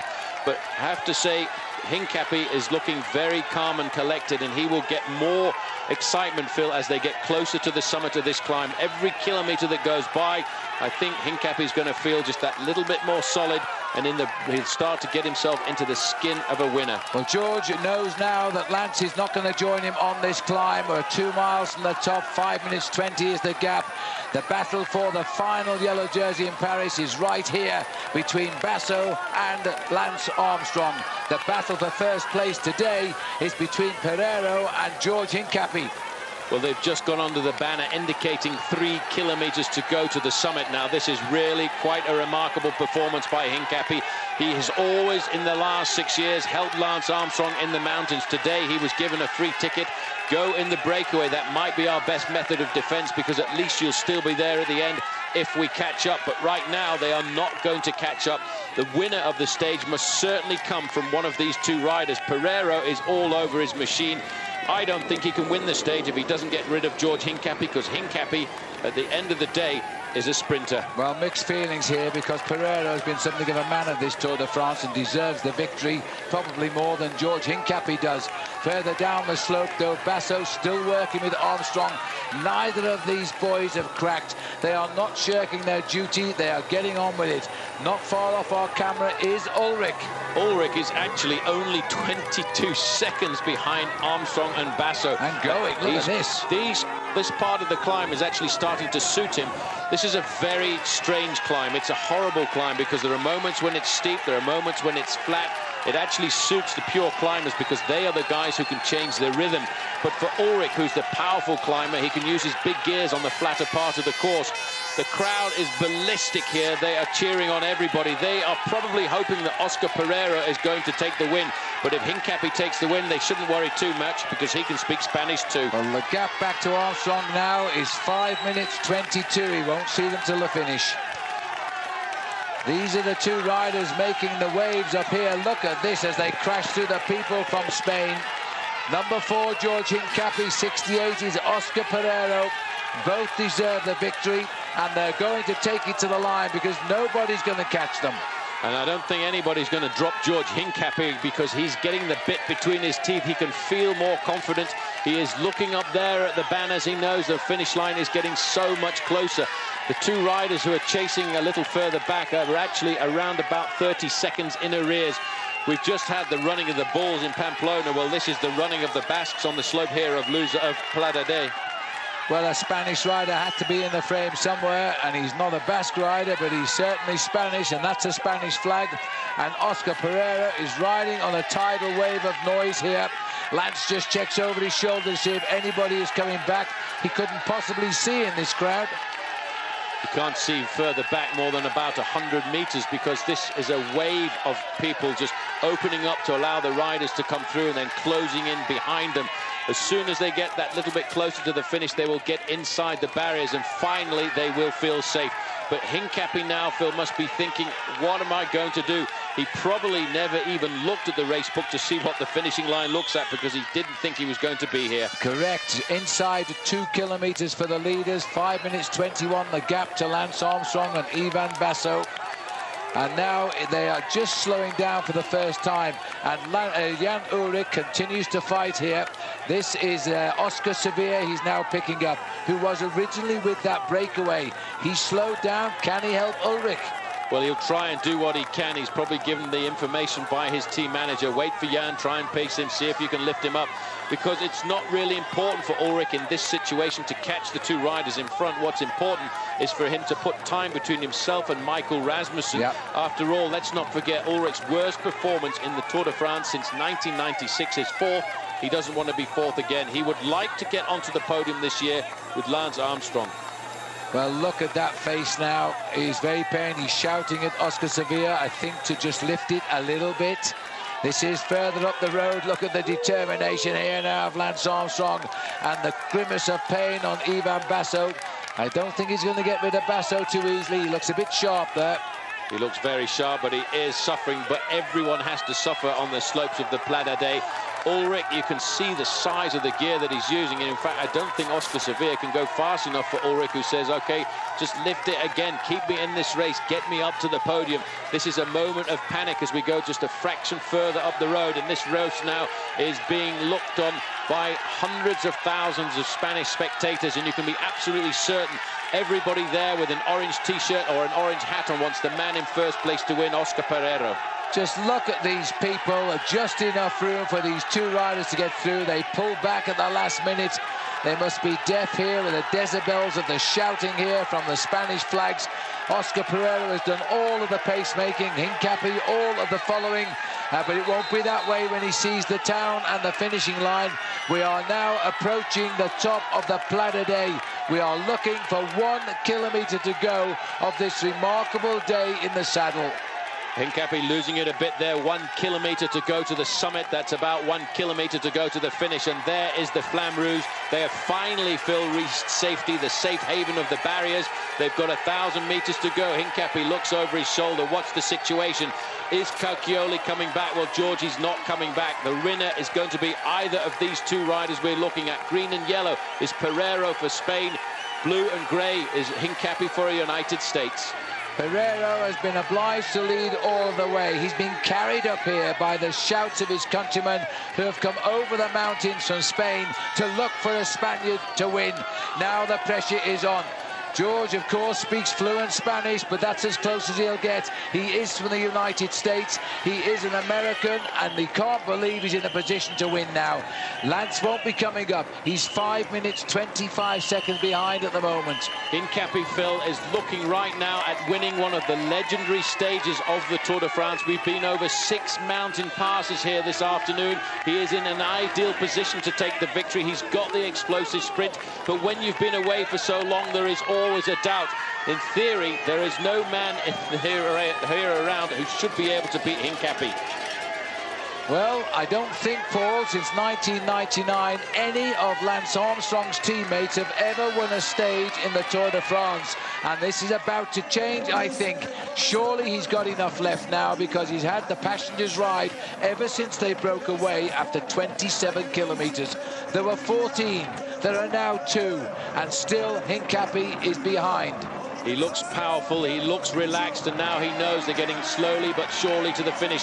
He's in the ideal position. He has to make sure he's in the right gear. Pereiro gets out of the saddle.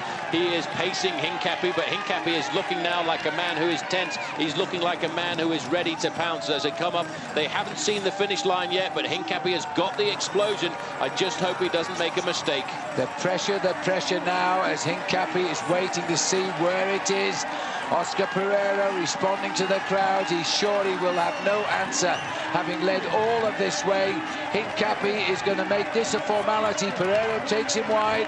It's still a long way to go. It is long and interminable, the 1,000 metres at the top of a mountain like this. There are 300 metres to go. Oscar Pereiro opens up the gap, but Hincapie's ready. Hincapie goes at 200, and now there'll be no answer from Pereiro. This is going to be yet another memorable moment in the life of this American team. Lance Armstrong, when he can't win, why not send up George Hincapie to finish off a perfect day of tactical copybook reading. And George Hincapie, after 10 years in the Tour de France, finally gets a victory, and he cannot believe it. George Hincapie, Tour de France stage winner, Pla d'Adet, 2005. After 10 years of trying, Oscar Pereiro crosses the line. 10 years of trying for George Hincapie, and he gets himself his first ever stage win. Phil, since 1999, all he's ever done is ride as a dedicated teammate to Lance Armstrong. Today, he's opened up the copybook for himself. Well, there's the congratulations. But this is the man finishing in third place now is Pietro Caucchioli. As he comes home as well, the clock is starting. 32 seconds has passed by. As you can imagine, the congratulations behind the scene. Caucchioli crosses the line. 38 seconds he lost in the close. And then Michael Boogerd, who I think was really set up for the win as far as he was concerned, didn't quite come for him in the end. He couldn't answer the attack of Pereiro, and he was left. But still, fourth place to Michael Boogerd. That's a great ride by Michael Boogerd, but what a hard way for all of these riders to get themselves to the summit of Pla d'Adet. And here comes Laurent Brochard. Brochard did a great ride too. He attacked a number of times from the summit of the Col de Peyresourde, but he couldn't break the stranglehold of the group he was with. And this is also a very hard day in the saddle for the former French world champion. Michael Brochard, uh, Laurent Brochard, I beg your pardon, comes up, the former world road race champion. He delivers a fifth place finish. That's a very good ride for the Frenchman, as he is now the first Frenchman up the mountain today.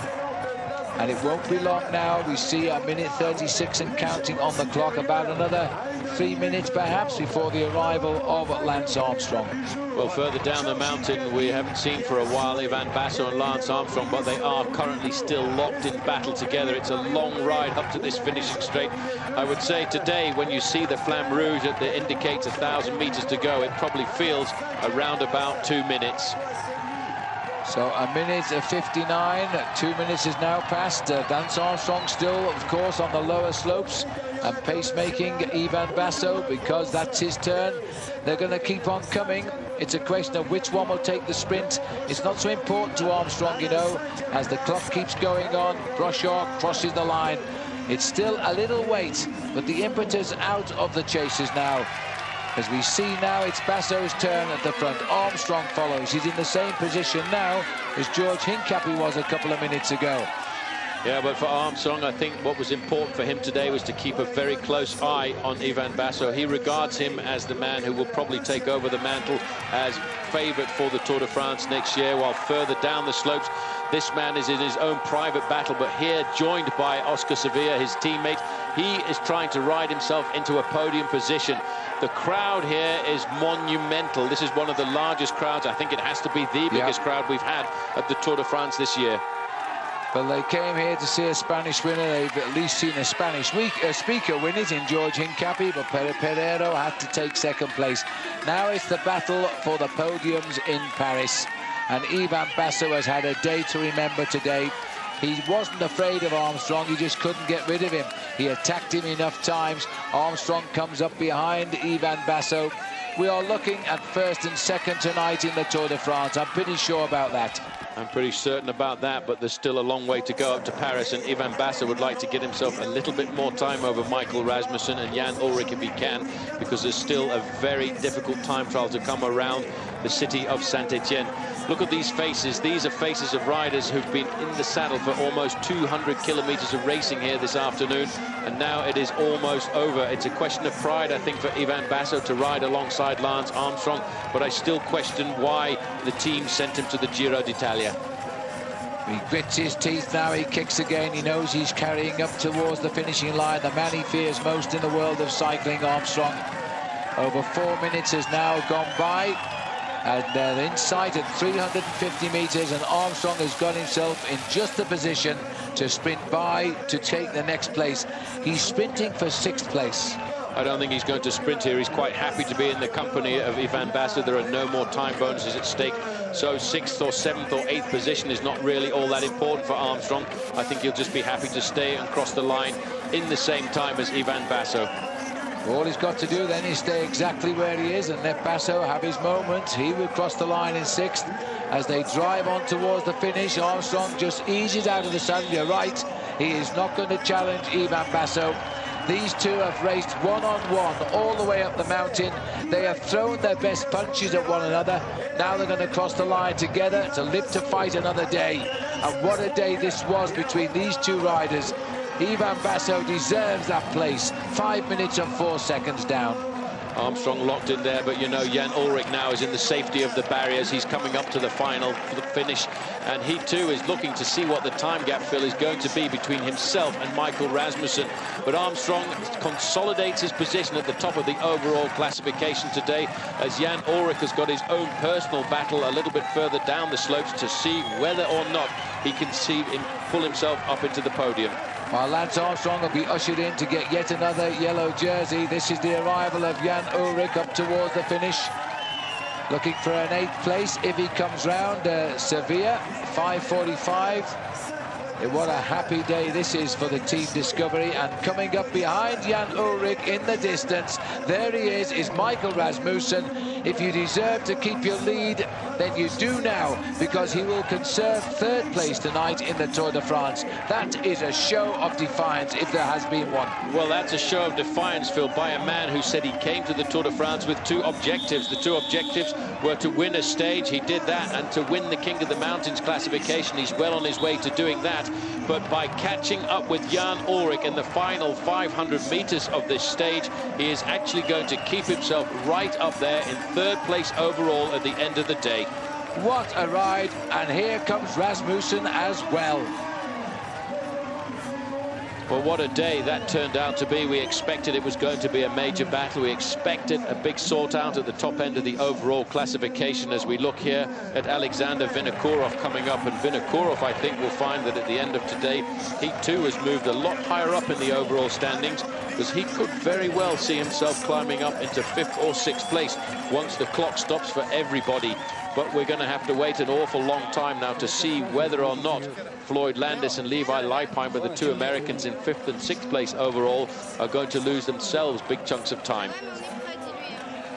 This is a beast of a climb here up to the summit of Pla d'Adet, but we have seen a great battle. We've seen a great winner George Hincapie getting, strangely enough, only the 14th victory of his career. But of course, this has got to be one of the greatest ones.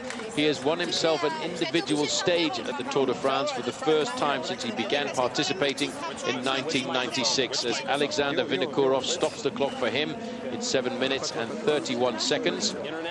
But behind what is important is to see just how far back the rest of the challengers are. And the man who is the best of the rest is going to be Levi Leipheimer. So Leipheimer, too, should keep hold of his fifth place in the overall classification this evening. Great ride by Leipheimer, who I reckon is riding the best Tour de France of his career. Is Christophe Moreau.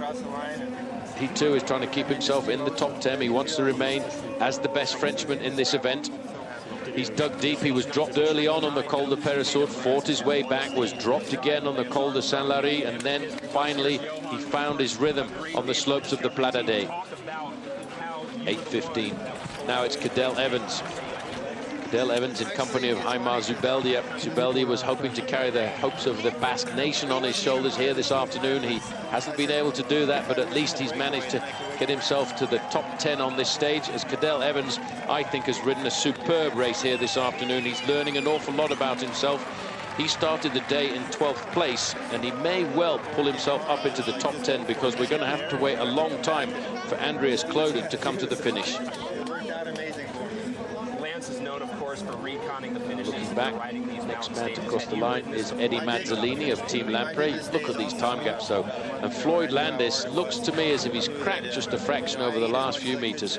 In company of Yaroslav Popovych, wearing the white jersey, he will consolidate his advantage in the white jersey as the best young rider in the Tour de France this year.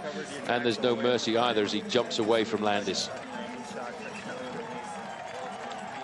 Floyd Landis looks as if he hit the wall a fraction over the last few meters as he comes up to the line. Yaroslav Popovych is just riding up to the finish line. Popovych is in 13th place overall, and he's got himself a few seconds back on the man who started the day in sixth place. Nine and a half minutes for Floyd Landis. Well, there's a long time to wait until the final riders come up here. That is where we are, crowned on the top of this plateau just in the heart of the Pyrenees. Pla d'Adet is where we are. Saint-Lary is right down in the bottom there. And it only takes about 10 minutes in the cable car, but these riders took around about 40 minutes to come up here. Well, I think uh, there's no doubt we're on top of a mountain when you look at a picture like that. The Saint-Lary-Soulan is way below. This is the Pla d'Adet at night. You can see the lights up here from the valley below. George Hincapie has been coming to the Tour de France since 1996 when he didn't finish. And the day he abandoned, Paul, stage 15 in his very first Tour de France. 10 years on, uh, well, 10 tours on, he's winning on that same day. Quite remarkable when you think of that. But just look at the happy face here on Georgie. I wonder when he went in that breakaway, Phil, after 28, 27 kilometres of the stage covered, if he really believed that he was going to survive and stay off the front. He is a man who is renowned for his performances on the flatlands. He's great in races like the Tour of Flanders and Paris-Roubaix, but this will be probably one of the biggest memories of his sporting career. Well, there's no doubt about that, because when you're racing for a man of the ability of Lance Armstrong, you get very little, almost never any chance of riding for yourself. That's the way it is. You share in the success of your team leader. Today he went up the road because he said he felt good, and he says, if we get 10 minutes, I can wait for Lance. When they got 20, then he was told he had to start looking out for himself. He had to think about a different situation, and he was in an ideal situation that I think every professional rider dreams of, being in a breakaway and given the order by the team manager to sit on and not work because you are the teammate of the race leader. Well, the riders continue to finish here, and this is going to be a big time deficit for an awful lot of riders. That was Andreas Klöden coming in. There's the scene behind, and that is George Hincapie being congratulated by Lance Armstrong. First time he's done that. No teammate has ever won uh, riding for Lance's victories in the last seven years of the Tour de France until now. Well, the reason for that is, Phil, up until this moment, they've always had to dedicate themselves and sacrifice themselves for Lance Armstrong. I don't know if we can just listen to George here. See what he has to say. George, talk about the strategy to put you in the early breakaway. You guys were away for almost the whole day. That had to be tough coming up all the mountains. Yeah, I knew it was going to be a tough day, and I actually just wanted to go in the break so I can have a head start on the group and possibly wait for Lance and help him out at the finish. But we ended up getting 18 minutes, and uh, Johan and Dirk said, you know, you guys aren't coming back. George, do your race, and they gave me the go-ahead, and it's a dream come true today. You had such great success in the in the early spring, of course, winning the one of the early classics. Paris Roubaix very close. The Dauphiné being in the yellow for two stages. Talk about though how you transitioned your form to get ready for July and to help Lance. Just doing a lot of climbs. Um, I still can't believe it. It's all right to get emotional, partner. You know, I just just doing every all the climb, a lot of work, work in the mountains, and and it's just hitting me right now. I just can't believe. You, uh, as I said earlier, you have had such great success. This has to, though, be the biggest win of your career. You're obviously getting a little misty-eyed, but talk about what's going through your mind right now you know, I've, I've, I've, worked hard and I've been with Lance the last six years, and it's just been an, an, amazing run. And everybody always asks me, why do you keep, why do you stay with Discovery Channel? Why do you stay with the same team? And this is the best team in the world. And you know, we have the CEO of Discovery here, Billy Campbell, and it's just uh, amazing that I won today. And I just. I'm happy. I know the team is really happy, and I know the team had a great day today with Lance. You know, getting more time on the rivals, and just fabulous day. You highlighted the strength of this team. However, let's look at how you guys have done in the first two weeks of the tour. Is this exactly where you want to be? Certainly, winning this stage is a great accomplishment. Yeah, I'm definitely. I know that. Uh, I think Lance finished with Basso today, and we wanted to get time on everybody. And Basso's riding super strong, but I think Lance will be able to take more time on him in the time trial. I hope. And you know, this last week is very, very hard, so there's, there's no time to celebrate. We got a lot of hard work ahead of us, and I'm just going to be happy with the win today, and uh, I'm going to uh, take a well-deserved rest day tomorrow. All right, congratulations. Thank you. Well, what about that? It was supposed to be the boss's day, and it ended up being nicked by one of the domestic staff. Chris Boardman, George Hincapie. I mean, tell us about how the tactics work. He was in there just to sit on the break and then suddenly the gap gets big and everything changes. Yeah, well, George covers the break and that means the Discovery team isn't really obliged to chase. Why would they chase down their own man? And of course, once he gets that kind of time gap, it, it, he's in it for himself. It was a fantastic ride. And there, as we can see, he took uh, Oscar Pereiro pretty easily at the finish. Oscar Pereiro worked all the way through, didn't he? I was a little bit surprised at that. I mean, 24th on, on GC, uh, I was quite surprised that he didn't get George to do any of the work, but obviously it worked for George. And here is how today's result has affected the overall standings. The big move, I suppose, is Ivan Basso leapfrogging Michael Rasmussen for second place. Yeah, I mean, obviously he did what, everything he had to do today. He committed himself in the final climb, and it's going to make possibly an interesting time trial, really. Cat, well, talking about the time trial, do you think Ullrich can make up, what is it, nearly three minutes on Rasmussen and get himself on the podium? I think that's a lot to ask, really. I think it pretty much he's settling himself into that fourth spot again, but it might be interesting between Rasmussen and Basso. All right, and finally, just a word about Lance today. He targeted this stage. Was it just tactically that the break got too big, or, or did he not have the strength? Yeah, he had to prioritise. I mean, everybody suffered today. Every single person really grovelled through the whole day. He did what he had to do for the overall, and they got the stage anyway. All right, now then, before we go, we've got another winner in our tour competition. Neil Gage of Wolverhampton knew last week's answer which was that Lance Armstrong's first Tour de France was in 1993. He wins the trip to Paris to be there on the Champs-Élysées for the final stage of the Tour a week today. By the way, we'll be launching our third and final competition in tomorrow's rest day programme.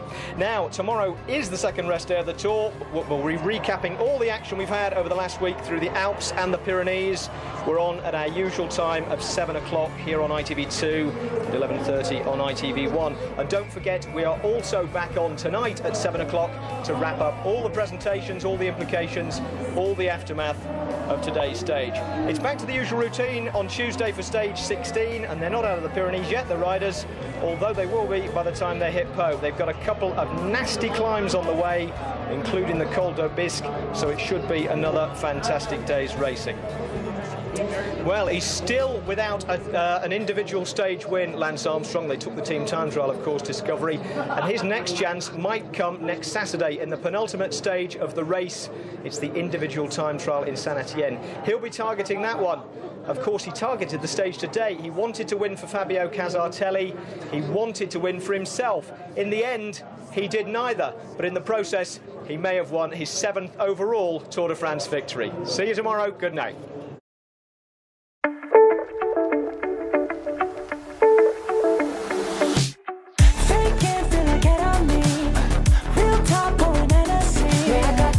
Feelings, I got some new feelings that make you uncomfortable.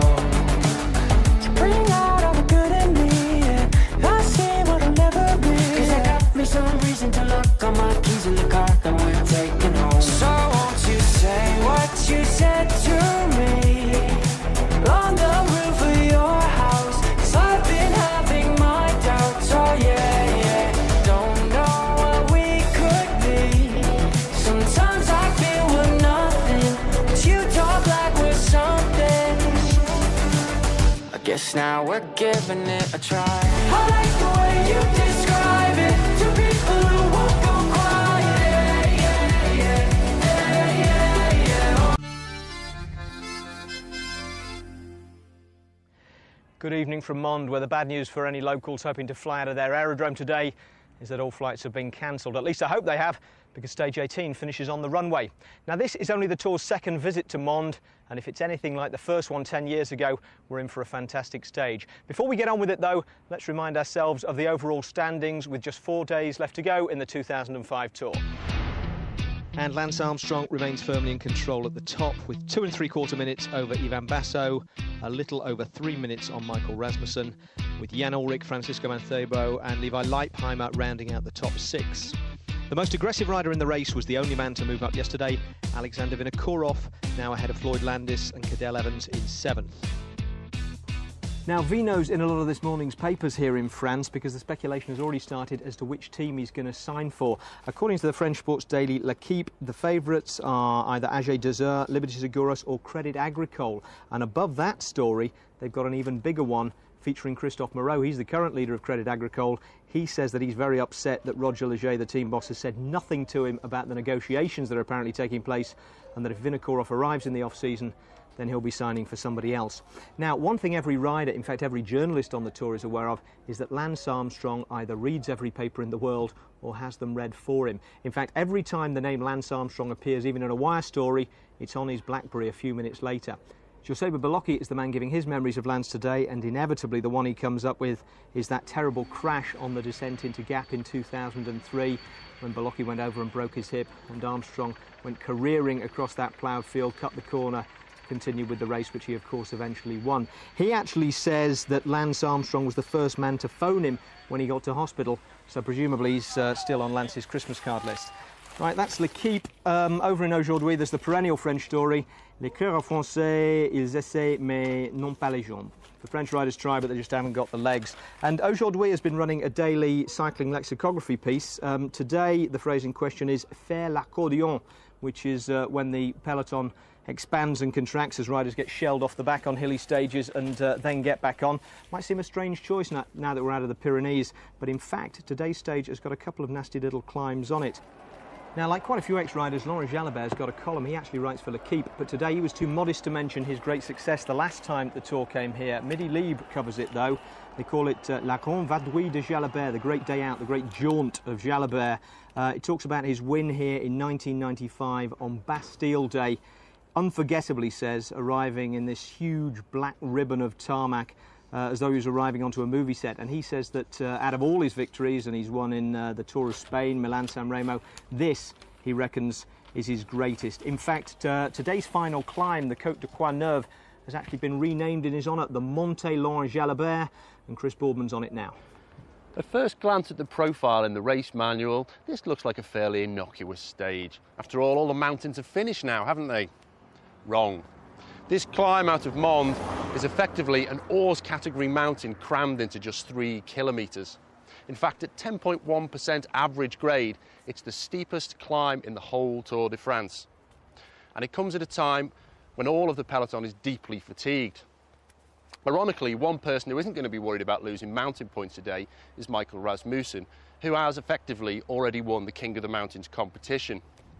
One thing he does have to look out for is Jan Ullrich, who'll be desperately trying to take seconds and put himself in a podium hopping position before the time trial on Saturday. A couple of other certainties that we're going to see today. One, there'll be a breakaway, and two, off. For sure, he's going to use this to launch some more attacks. Now, there's the current state of play in the King of the Mountains competition. Michael Rasmussen has a 50 point lead over Oscar Pereiro with Lance Armstrong third. There are only 56 mountain points left in the race, so he looks pretty well assured of that title. And there's today's stage profile, fairly lumpy along the way, but all of the other climbs eclipsed by the final one up to the finish here in Mende. There they are, first and third in the mountains competition, and the other way round in the general classification. Now, today's route saw the race pass underneath Sir Norman Foster's magnificent Millau Viaduct, giving all of us covering the race the chance to trot out our pet fact about it being taller than the Eiffel Tower. Today's first breakaway had 10 men in it, including Axel Merckx, Carlos da Cruz, who's been in more breaks than any other rider, Thomas Voeckler trying to cheer the French up, and Matthias Kessler hoping to strike back for T-Mobile by taking back the lead in the team competition from Discovery. As we pick it up 60 kilometres or so from Mende, they've built themselves a healthy lead over the peloton. There's the big field uh, at the 60 kilometres point to, to, where they'll finish in Mende at the aerodrome. And uh, the gap nearly at 30 minutes now. They're beginning to look as though they may have read it right.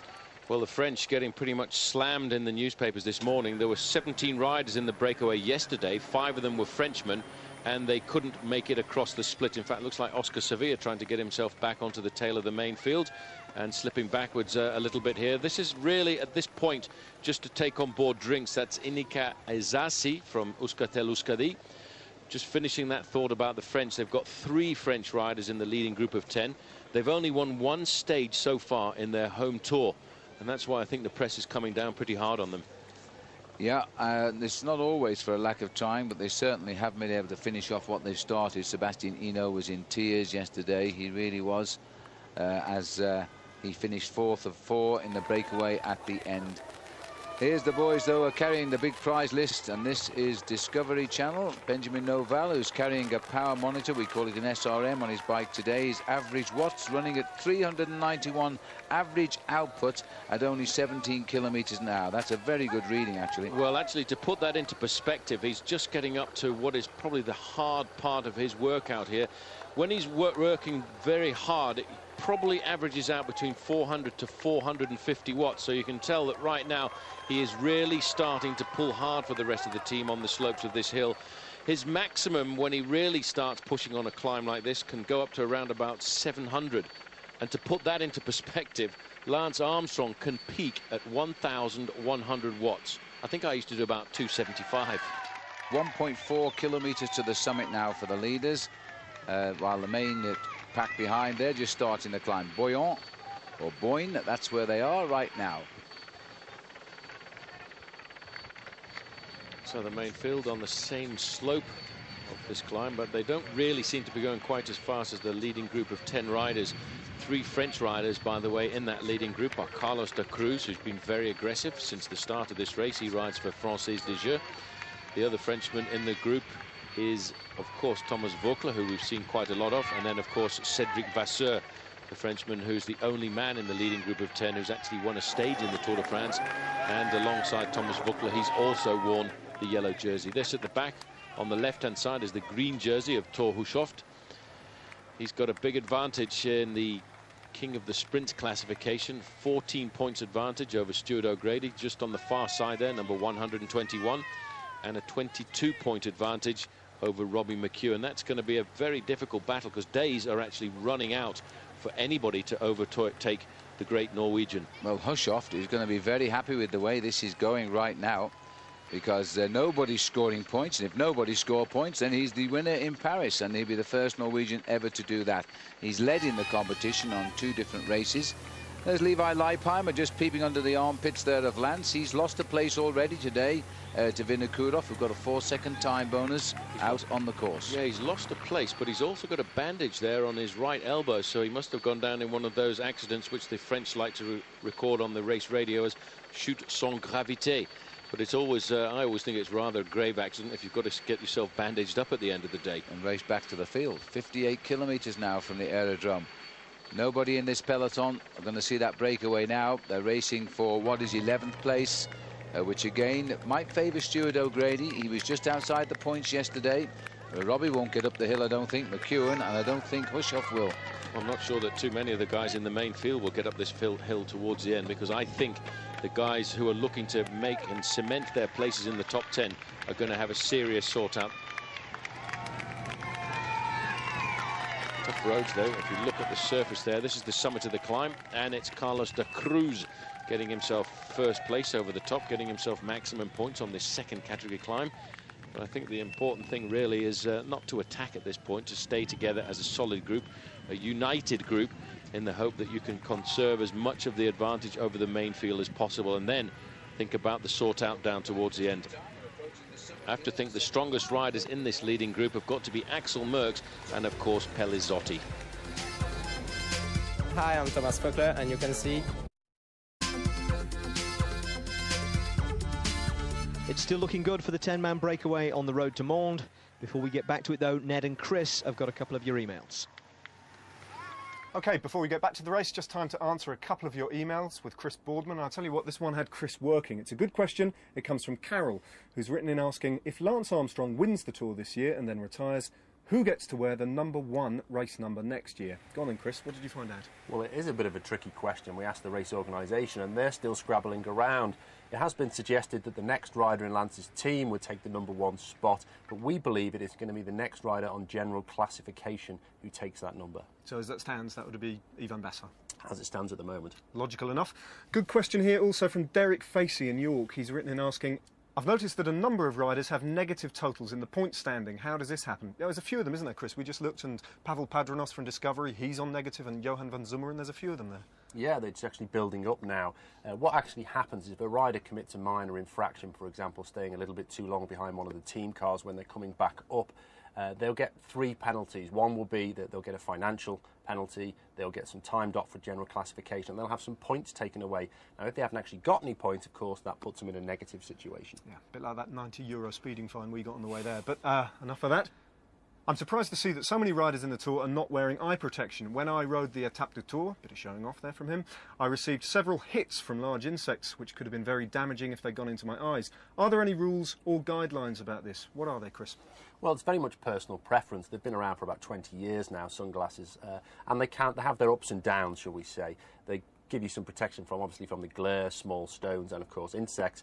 But the downside is when you sweat, you sweat on the inside of the lens, you lose some visibility, and that's also not such a good thing. So riders often take them on and off. You often see them perched on the helmets during the climbs. On the climbs, Lance never has the glasses on, but you sometimes see Jan quite often on the flat stages. He always has them on, doesn't he? Yeah, it can give you that little bit of mystique as well. You, all the riders are checking you out, seeing what kind of condition you're in, and can't see the eyes a little bit of a psychological warfare, I think, going on there as well. Yeah, you can hide behind them. Right, keep the emails coming. The best way to do that is to go to our website, www.itv.com forward slash Tour de France, and then just follow the prompts.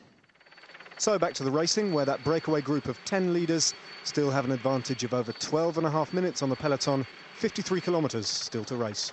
Well, the guys at the back in that long line are the guys who are under pressure. They're the ones who are having a hard time finishing the Tour de France having a hard time with the heat and, of course, the undulations on today's stage because this is a very difficult area to race through. And I remember from riding races like the Midi Libre that these roads are really tough roads. So you can see still same two guys on the front for Discovery Channel. That's Benjamin Noval, the Spanish rider. That in second place there is Pavel Padrnos. Next man coming up, Chechu Rubiera. He was in the breakaway yesterday, but he was in the second part of the split and his teammate Paolo Savoldelli covered the first part of the split and made a fantastic comeback down towards the end. It looked as if he'd lost it with around about 1.2 kilometres to go, but he clawed his way to the back wheel of Kurt Asle Arvesen and just managed to overtake him in the closing meters. What beautiful countryside here in the southern part of France. So we're up, and it's hard to believe that the majority of this this hilly area here is hovering at around about the 900 meters, 3,000 feet and that's where we are. We're just coming through to the town here of the uh, sprint point, which is at Massegros, at 51 kilometers to go to the finish. 51 kilometres still to go to Mende. That's not that far away as we're heading up now towards the only sprint of the day, and it can only just be up the road here for the group. Again, nobody in this group interested in the small uh, seconds available. Not much point because uh, they're not going to do anything as far as penetrate the leaderboard. 12.34 the gap. They've lost about 10 seconds. That means that uh, they're not chasing back there at all. Not really. They've got themselves locked in again. It's a very good tactical situation for Team Discovery, who, have to say, Phil, since the start of this tour, have not really done anything wrong at all. They've been in the right place all the time. Armstrong has never been caught out, and when necessary, they've always been to, they've always been there to defend when required. This is Carlos da Cruz. He, he, just comes out and pinches everything today because he's won uh, the last two climbs. He's now going to win the sprint. Uh, so that's a hat trick of prizes. So he's not sharing anything with the boys.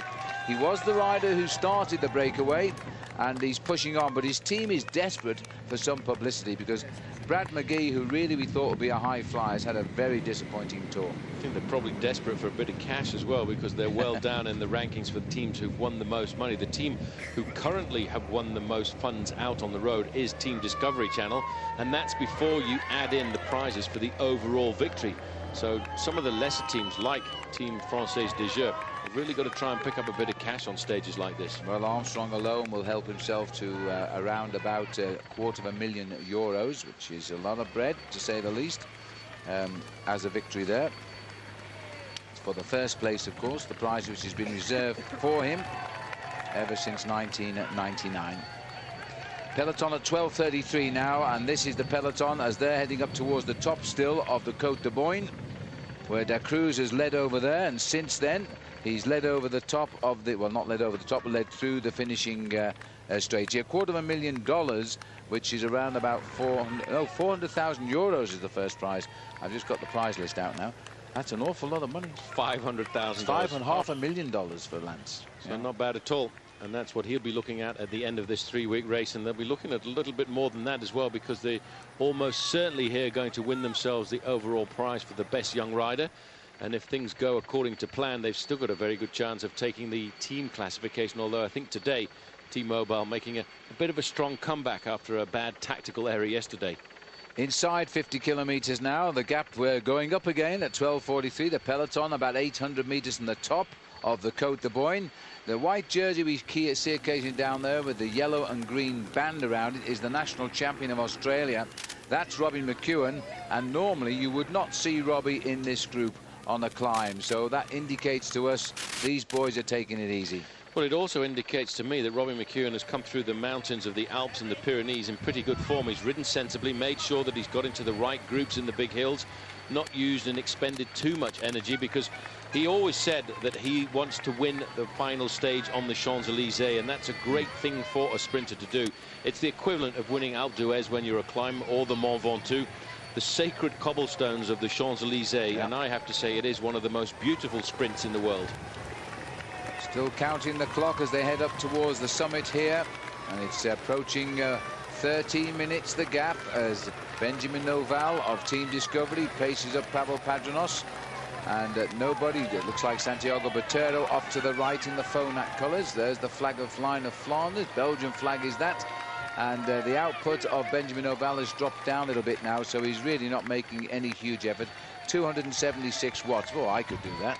Well, yeah, you probably could, but not after three weeks of bike racing like this. and this yeah. boy has been putting out this wattage field since the start of the Tour de France. Every day we've seen him on the front end of the main field. Pavel Padrnos and Benjamin Noval have done an awful lot of work. And as soon as they get to the top, you notice a lot of hands being thrown up there. Mauro that Facci. was, in fact, Mauro Facci. He was waiting for the team car to come forward because he wants to take on board a few drinks. Hi, I'm Cedric Vasseur. Keep on watching more Tour de France after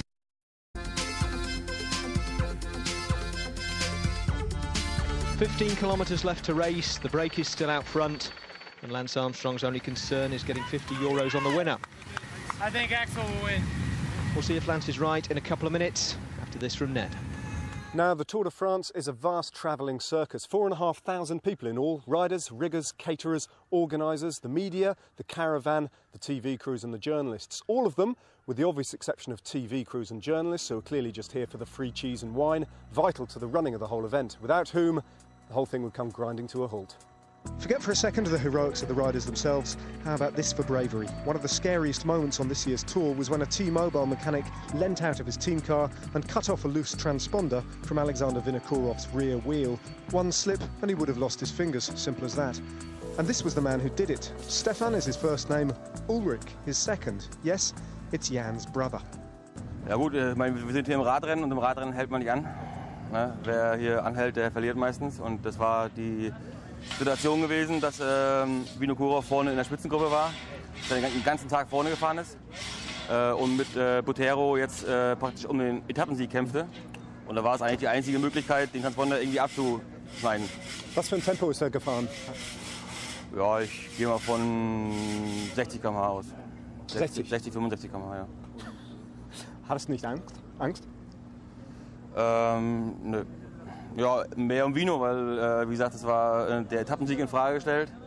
Und ähm, da hatte ich eigentlich keine Angst mehr.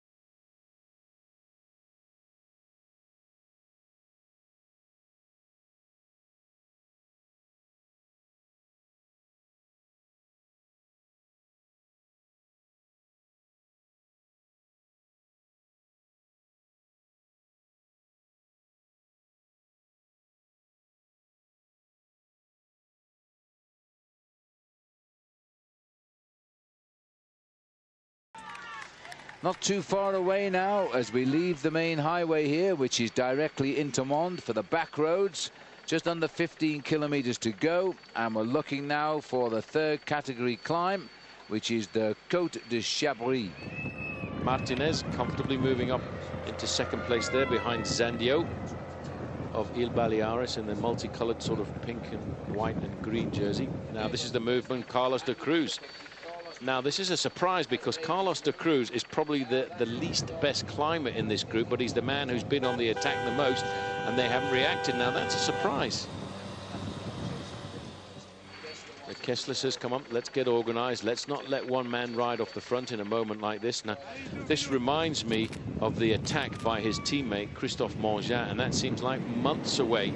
And that attack was when we were going down onto the outskirts of Nancy. 13 kilometres to go. We should have predicted Da Cruz would start it. He was the first man to launch the attack this morning. After 40 kilometres, they all joined him, and now he's gone again. Well, this is the best move that he could think of doing because of that leading group of 10, Phil, he is the least best climber, and that's why he's taken advantage. He's hoping there's going to be a little bit of tactical manoeuvring in this group. As you can see, they've continued to organise themselves, but the group is now starting to pick up passengers as we get to the more difficult part of the course. And as we go to the back of the group, you could see the weaker riders. And Thomas Voeckler, I thought there, one of the weaker riders. Luke Roberts is still in contact. He's keeping a very close eye on affairs. Great to see him in the last week of the Tour de France, actually in the breakaway in his first uh, first time participation. Well, looking at Da Cruz there, he's a rider that doesn't win many races, but he has shown us this year he has tremendous form in the Tour de France, and he's been attacking and attacking. Nothing to show for it yet. It's his fourth Tour de France. He's always finished this race. Looking there at uh, Da Cruz, though, as the pavement artists have been at work again. Very tasteful, too. Tour de France, Tour de France, Tommy Louis. As the riders now continue, the Devil's left his mark there with the Trident as well. And here comes the chase. Good tempo riding uh, but no reaction really to the attack of Da Cruz. Well, I think I might not be too far from the truth with what I said about the Frenchman. Thomas Voeckler is sitting at the back of the group, and Cedric Vasseur is doing absolutely nothing at the front end of this group either, waiting to see whether or not Da Cruz gets caught, and then they'll try and launch a counter. After all, the French only have one stage victory to their credit so far, and uh, we'll always get a streaker somewhere along the roads of the Tour. It is interesting to see that Team CSC are starting to really whip up the pace. I think they want to toughen the race because, you know, it doesn't matter the fact that this group is 15 minutes behind. The time is important for all of the, riders in the top 10 yeah. in the overall classification because they feel that there could be a major sort out. Well, they want Basso to get in the split, of course. Ivan Basso, 2 minutes 46 behind Lance Armstrong uh, but more importantly 23 seconds ahead of Rasmussen look at this action now well this is Zandio who set it up but that tall lanky figure going straight over the top is Axel Merckx so maybe just maybe Lance Armstrong's prediction is going to come true here because Merckx is in great form. He's made the junction there almost immediate. A little bit of confusion as he caught Carlos da Cruz and Cedric Vasseur just sitting a little bit further back. The order over the top was Da Cruz, Merckx, Zandio, and they waited till they were over the top. As you can see, the climb continues here, and so too does Axel Merckx. And this is the climb before the big one, and it is very, very steep as we head towards Mende now. We'll descend into the town from here. Well, Axel Merckx, you know, Phil, is not the biggest winner of professional bike races. He's only won 12 races in his career. But whenever he wins a race, and this is how to go from the front to the back in one easy lesson. Shame. Carlos da Cruz, that was all he could do, Phil. He's not a great climber, but at least he's tried. This is the big battle behind. Serrano is the man leading the chase behind Axel Merckx. As I was saying, Axel doesn't win many races, but when he does, they're all class acts. He's been the champion of Belgium like Dad was, and Merckx now making his bid. They're reorganising there, and here comes Voeckler. It had to come. And who's going to go after him? Serrano, yes. Vasseur, yes. Not too sure about Zandio. He looks a bit shaky, hanging on. Well, Zandio was the man who set up the move initially, and it was Axel Merckx who went onto Zandio's wheel and countered over the top. Thomas Voeckler has got the gap now. This is unbelievable. This is the man who was the darling of France last year, and he is pulling himself inside out. He's almost across the gap there to Axel Merckx. Merckx won't be too happy because I think he would be a lot happier if he was riding on alone. Well, there we are over the top of the climb. It's Merckx now, and followed by Voeckler. And these boys are going to have to take chances. This is a bit of a twisty old descent down here to Mende, and then we cross the town, and that hill's got nothing on what we are about to see. A good move by Voeckler there. He's caught Axel Merckx. Two of them clear. Hello, I am Nicolas Jalabert. More for the tour after this break.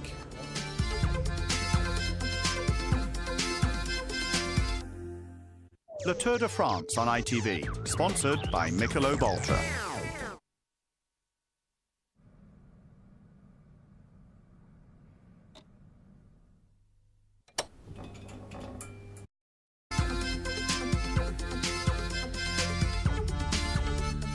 Welcome back. Axel Merckx and Thomas Voeckler had made their break when we left you. They've now been rejoined by Xavier Zandio, Marcos Serrano and Cedric Vasseur. So there are five men heading towards the final climb up to the finish in Mende. Well, the five are together. A little bit of common sense prevailing there because we're now in the town of Mende. We'll turn right shortly. It is going uphill already.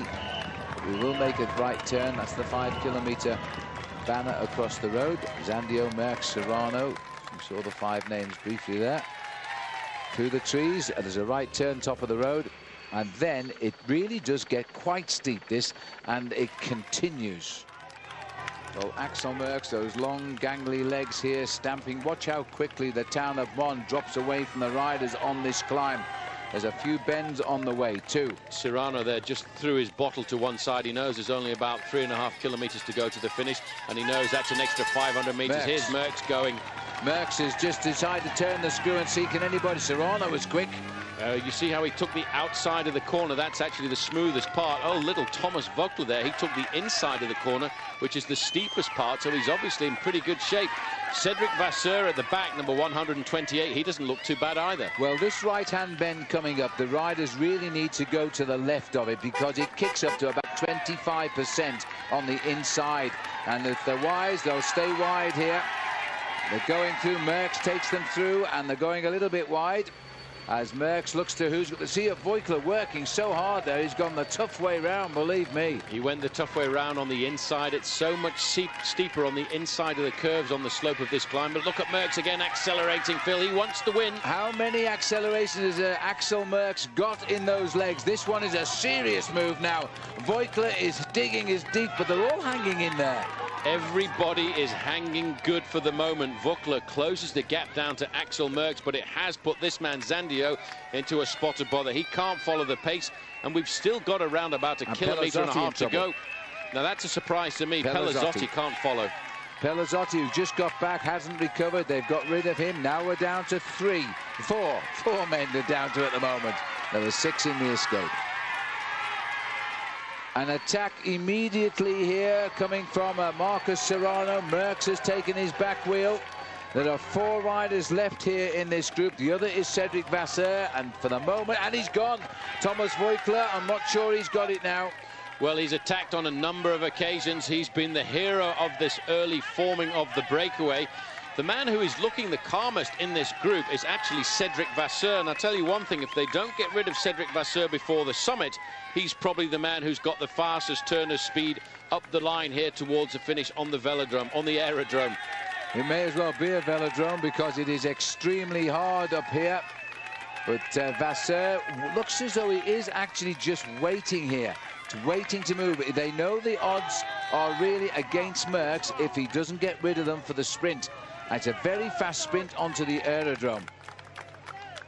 Yeah, it's rather interesting that uh, Axel Merckx, the son of Eddy Merckx, has never won a stage in the Tour de France, although he has emulated his dad by winning a stage in the Giro d'Italia, and he has been the Belgian national champion. Serrano now, Phil, wants to put the pressure on this group. I think they're a little bit worried by the presence of Cedric Vasseur there. I would be worried too, and the power of the French on his shoulders now because only one stage win so far, and let's not forget, rather, it was Vasseur's teammate, David Moncoutié, who won on Bastille Day, and now Cofidis is looking for the second win and Vasseur looking very cool and Dad Alain I'm sure is crowding the television set right now he was a pro in the Tour de France as well and this is a Crédit Agricole rider I don't think there's going to be too much to worry about this it'll start the ball rolling though from Das Kashechkin Kashechkin trying to threaten and maybe make Yaroslav Popovych tremble a fraction. I don't think there's going to be any trembling on Team Discovery Channel. Marcos Serrano, though, Phil, has still got a slight advantage.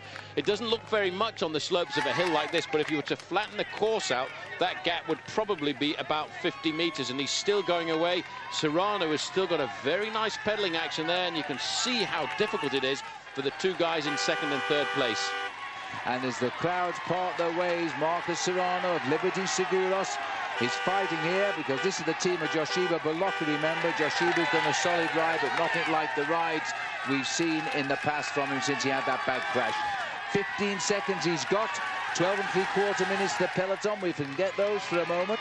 God, look at his face, Phil. He's got his tongue out. He's gasping for air. He knows right now he's within around about a minute and 15 seconds of a stage win in the Tour. Now he's nearly at the summit of the climb and he's about one and a half kilometres from the finish. He's going to be first over the top of the Côte de Laurent Jalabert. Then it's downhill and onto the flat of the aerodrome. Well, I like the way you call it flat. When I looked down this aerodrome, it looked as if it was tilting downhill quite a bit to me, and it will be when this man gets to it, because after all, this stage has been 189 kilometres in length, and the final kilometre really does drag up at an average gradient of around about 5%. These are the two chasers, and the gap to the two chasers is not really very much more than 10 or 12 seconds. But I think the way Serrano was going there, Phil, he must have it in the bag. Wise man, just you see Axel Merckx or Cedric Vasseur before you swing into the straight. Up to the biggest gear he possesses onto the aerodrome.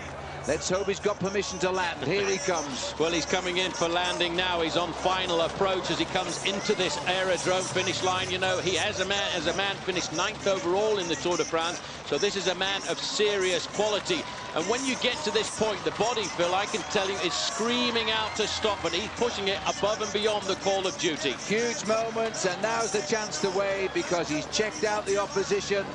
And this is a big, big moment for Marcos Serrano, trying since 1998. His eighth Tour de France and the first victory this year for the team which dominated the early part of the season, but haven't done anything in the Tour de France until today.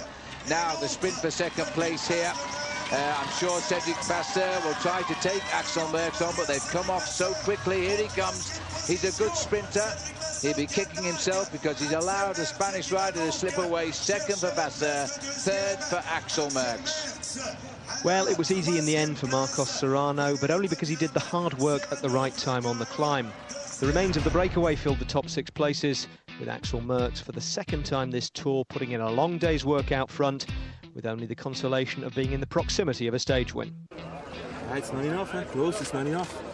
So uh, I think the tour is, is over for me now. I think, I think tomorrow I can do it again. I think it was a long day today, it was hard. And uh, I think I played my, my game today and uh, Serrano was just stronger. Well, behind Axel, this stage isn't over yet. The group containing Lance Armstrong and the other big names is just hitting the slopes of the newly named Montée Laurent Jalabert. Basso, Phil, making a move. Well, this may be why CSC tried to set it up. Look at this now. Where's Jan Ullrich? He's got to answer this one. Uh, Armstrong is right there waiting for the move. He's hooked up straight away. Ullrich is the rider behind, but he's got to have a quick reaction. He hasn't got it yet. Actually, the man behind is. Cadel Evans Cadel coming Evans across there. That's a Big good move. move. There is Ullrich. There is Alexander Vinokourov. This is the big sorting out of the top 10 places in the overall classification at the Tour because Ivan Basso here has decided he wants to have the big sort out. Well, Cadel Evans with a 15-second gain over Vinokourov would be up a place tonight, and that's why Vinokourov is trying to hitch on here. Jan Ullrich looking where his teammate is, because this, all of a sudden, is once more a battle of the strength. Basso followed by Armstrong, Cadel Evans. The pace has slowed a little bit because Ullrich is on. And now uh, Vinokourov is on. But once again, Paul, uh, Floyd Landis and uh, um, Leipheimer not there. And where is Michael Rasmussen? Well, I'm just looking down the road, and that's what this is all about. Here is Michael Rasmussen with Levi Leipheimer, Leonardo Piepoli, and Francisco Mancebo. The gap is not much, but as you can see, the attack there by Ivan Basso and Armstrong is doing damage. This is huge for Ullrich now. So four men forming at the front, and I tell you what, Cadel Evans could see himself moving up again in the overall classification here this afternoon because he has hitched on. There he is in third place. Ivan Basso, look at his face here. He wants to get as much time as possible over everybody else in the race. He's not too worried, I don't think, about the position of Lance Armstrong. Here is Rasmussen. He's got to pull himself back in. He's in company there of Levi Leipheimer, Francisco Mancebo. This is only a small climb. It's only the three-kilometre finishing climb here on today's stage of the Tour, but it is having a serious effect on the top end of the overall classification. Basso on the left. Cadel Evans is there. Armstrong in the middle, takes control of the pacemaking. Jan Ullrich has managed to stay there, but this man, Alexander Vinokourov, is probably going to fall behind Cadel Evans again because the climb, I think, is just a little bit too steep for the Kazakh champion. Looking a bit further back, there is Rasmussen. Oh, when your legs go on a climb like this, it's bridge to edge and room, more power, but there isn't any more power there for Alexander Vinokourov, and the gap is opening. Well, it's a very steep climb, Paul. We're talking the seconds for the podium in Paris, and this was the place when they're giving their all. Look how far down the valley is now. Oh, this is a beast of a climb. Look way down there in the bottom. That's where we have come from. That is Mende. And if you look way down in the bottom of the picture, you can see Alexander Vinokourov. Everybody here throwing caution to the wind. Jan Ullrich, Phil, today wants to get a little bit more time on Michael Rasmussen. He probably was a little bit worried about the fact that there was three minutes between him and a podium position. And today he's looking for third place in the Tour de France. He's not going to worry Lance Armstrong. Look at Armstrong dancing on the pedals. This is the last time he was going to dance up a mountain like this in the Tour de France because there's no big climbs tomorrow to talk about. The neutral service cars are moving forward. Levi Leipheimer has got to defend his position. Well, the he was situation sixth at the start of today. Le- Leipheimer is looking a little bit in distress there, to say the least. So is Rasmussen. This is a huge escape for Cadel Evans in the middle because he's moving up one place now. The rider who'll lose that is number 19, Vinokourov. Uh, but what Jan Ullrich is doing is making his job in the time trial that much easier. He won't get the time back today on Rasmussen, but he won't have to take so much out of him in the time trial on Saturday. And this is a big coup on what is not really a very long climb. Armstrong just controlling, keeping an eye on the man closest to him in the overall classification. Number 21 there, Ivan Basso. We are looking at the fight here for the podium in Paris, the top three places, and it is so good to see Cadel Evansville bouncing back. He was the one who reacted to the attack of Basso and Armstrong and immediately came up there to join them. Well, Levi Leipheimer is in sixth place, uh, but he's got time in hand, nearly two minutes more plus over Cadel Evans, so he's not in any desperate straits just yet. It looks as if Jan Ullrich might be having a spot of bother here. And look at Cadel Evans. He's still in contact, Bill, with the two top men in the overall standings of the Tour. Ivan Basso in first place, Lance Armstrong in second. And look at Jan Ullrich again caught a little bit behind the rest on the steepest part of the climb towards the finish. He's been distanced here. Cadel Evans hangs on to the yellow jersey of Lance Armstrong. This is the driving face of Ivan Basso, who's consolidating right now his overall position because he's worried about the time trial of Ullrich and he's getting a few seconds that might be vital. It's all about seconds for the other places in the overall standings at the Tour de France here, and Jan Ullrich knows that. He's got, look at Jan pulling back. himself back. He is coming back despite the effort of Ivan Basso. Basso, look at the face, he's grimacing. People say, who is the heir apparent to the throne of Lance Armstrong? Well, I think we're actually looking at him here. He is not afraid at all of Armstrong, and he's very prepared to attack. Well, there's still over three minutes between Basso and Ullrich, in the, and that now is going to be decided in the time trial. Jan Ullrich, in his last 10 days of the Tour, has shown us once again he is a fighter. He's a fighter, he's a battler. He rode that last 700 metres of that climb, Phil, on what the French would call pure courage. He pulled himself inside out. He wanted to stay in contact with these men. He wants to climb onto the podium of the Tour de France when Armstrong wins on Sunday, because I'm sure now he is going to win on Sunday. Jan Ullrich wants to be there with him. And I tell you what, Jan might well try for the sprint here because this is a matter of honour now. There is Michael Rasmussen. He's been in that jersey ever since the mountains began. He is losing time, and it's crucial he doesn't lose much because Ullrich will finish him off in the time trial, and he will be the third man in the Tour then. Well, as our commissaire tries to get us out the way from the back car there, Armstrong has taken control over the top. That's over the top of the climb. There's around about one and a half kilometres to go to the finish. They'll get some respite here as they drop down to the bottom of the aerodrome and then they'll take that left-hand turn and start to climb up. Not quite the same pressure in this group, being led by Levi Leipheimer, second there, Michael Rasmussen and Alexander Vinokourov. But this beside the fact that it's only been a three kilometre climb, again, Phil, it has caused some serious damage. And this is the sprint for the line, and I'm wondering if Cadel will try here. But look at the power of Lance Armstrong as he drives onto the Mende runway. This is the lineup now for the for the finish. Well, it's almost 10 minutes and 49 seconds since Marcos Serrano actually won the stage, but it's this battle behind, and it's amazing these riders, Phil, are battling out for seconds. They're not slowing down. They're sharing turns at the front, ah. just keeping the pressure on because the race is all about seconds for the placings in the overall standings. They can't even raise the sprint past Armstrong here. They're letting him go over the line in first place. Hang on to his shirt. Here comes Cadel Evans. This man is finishing the Tour strong and he's going to climb one place in the overall tonight. He needs just 15 seconds and he's already got five as I speak. And there's nobody. Here comes the man he's going over, Alexander Vinokourov.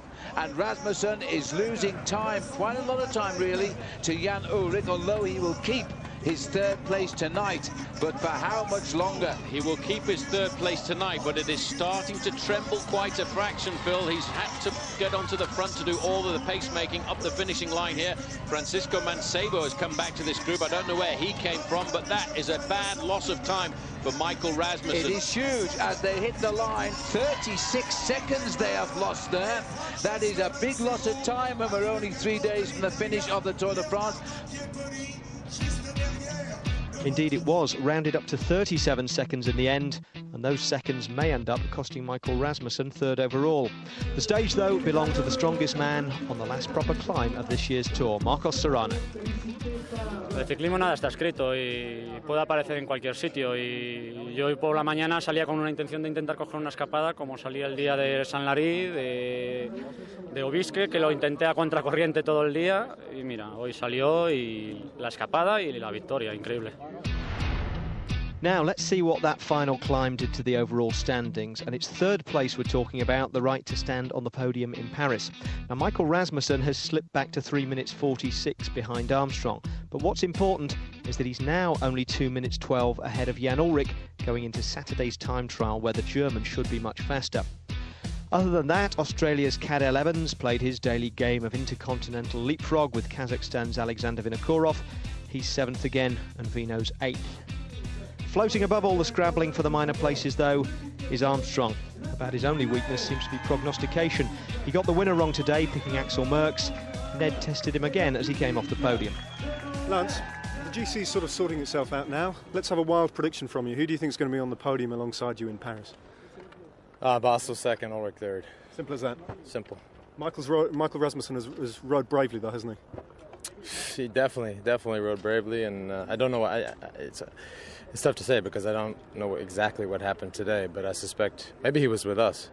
No. He wasn't with us. He wasn't with us. I should know these things, but Um, I, th- I think that those 30 seconds will be probably the 30 that knocks him off the podium, unfortunately for him. But he's rode he's rode a great race. I mean, if you consider the breakaway uh, early in the race, which was incredibly impressive, and then to never lose time in the high mountains, chapeau.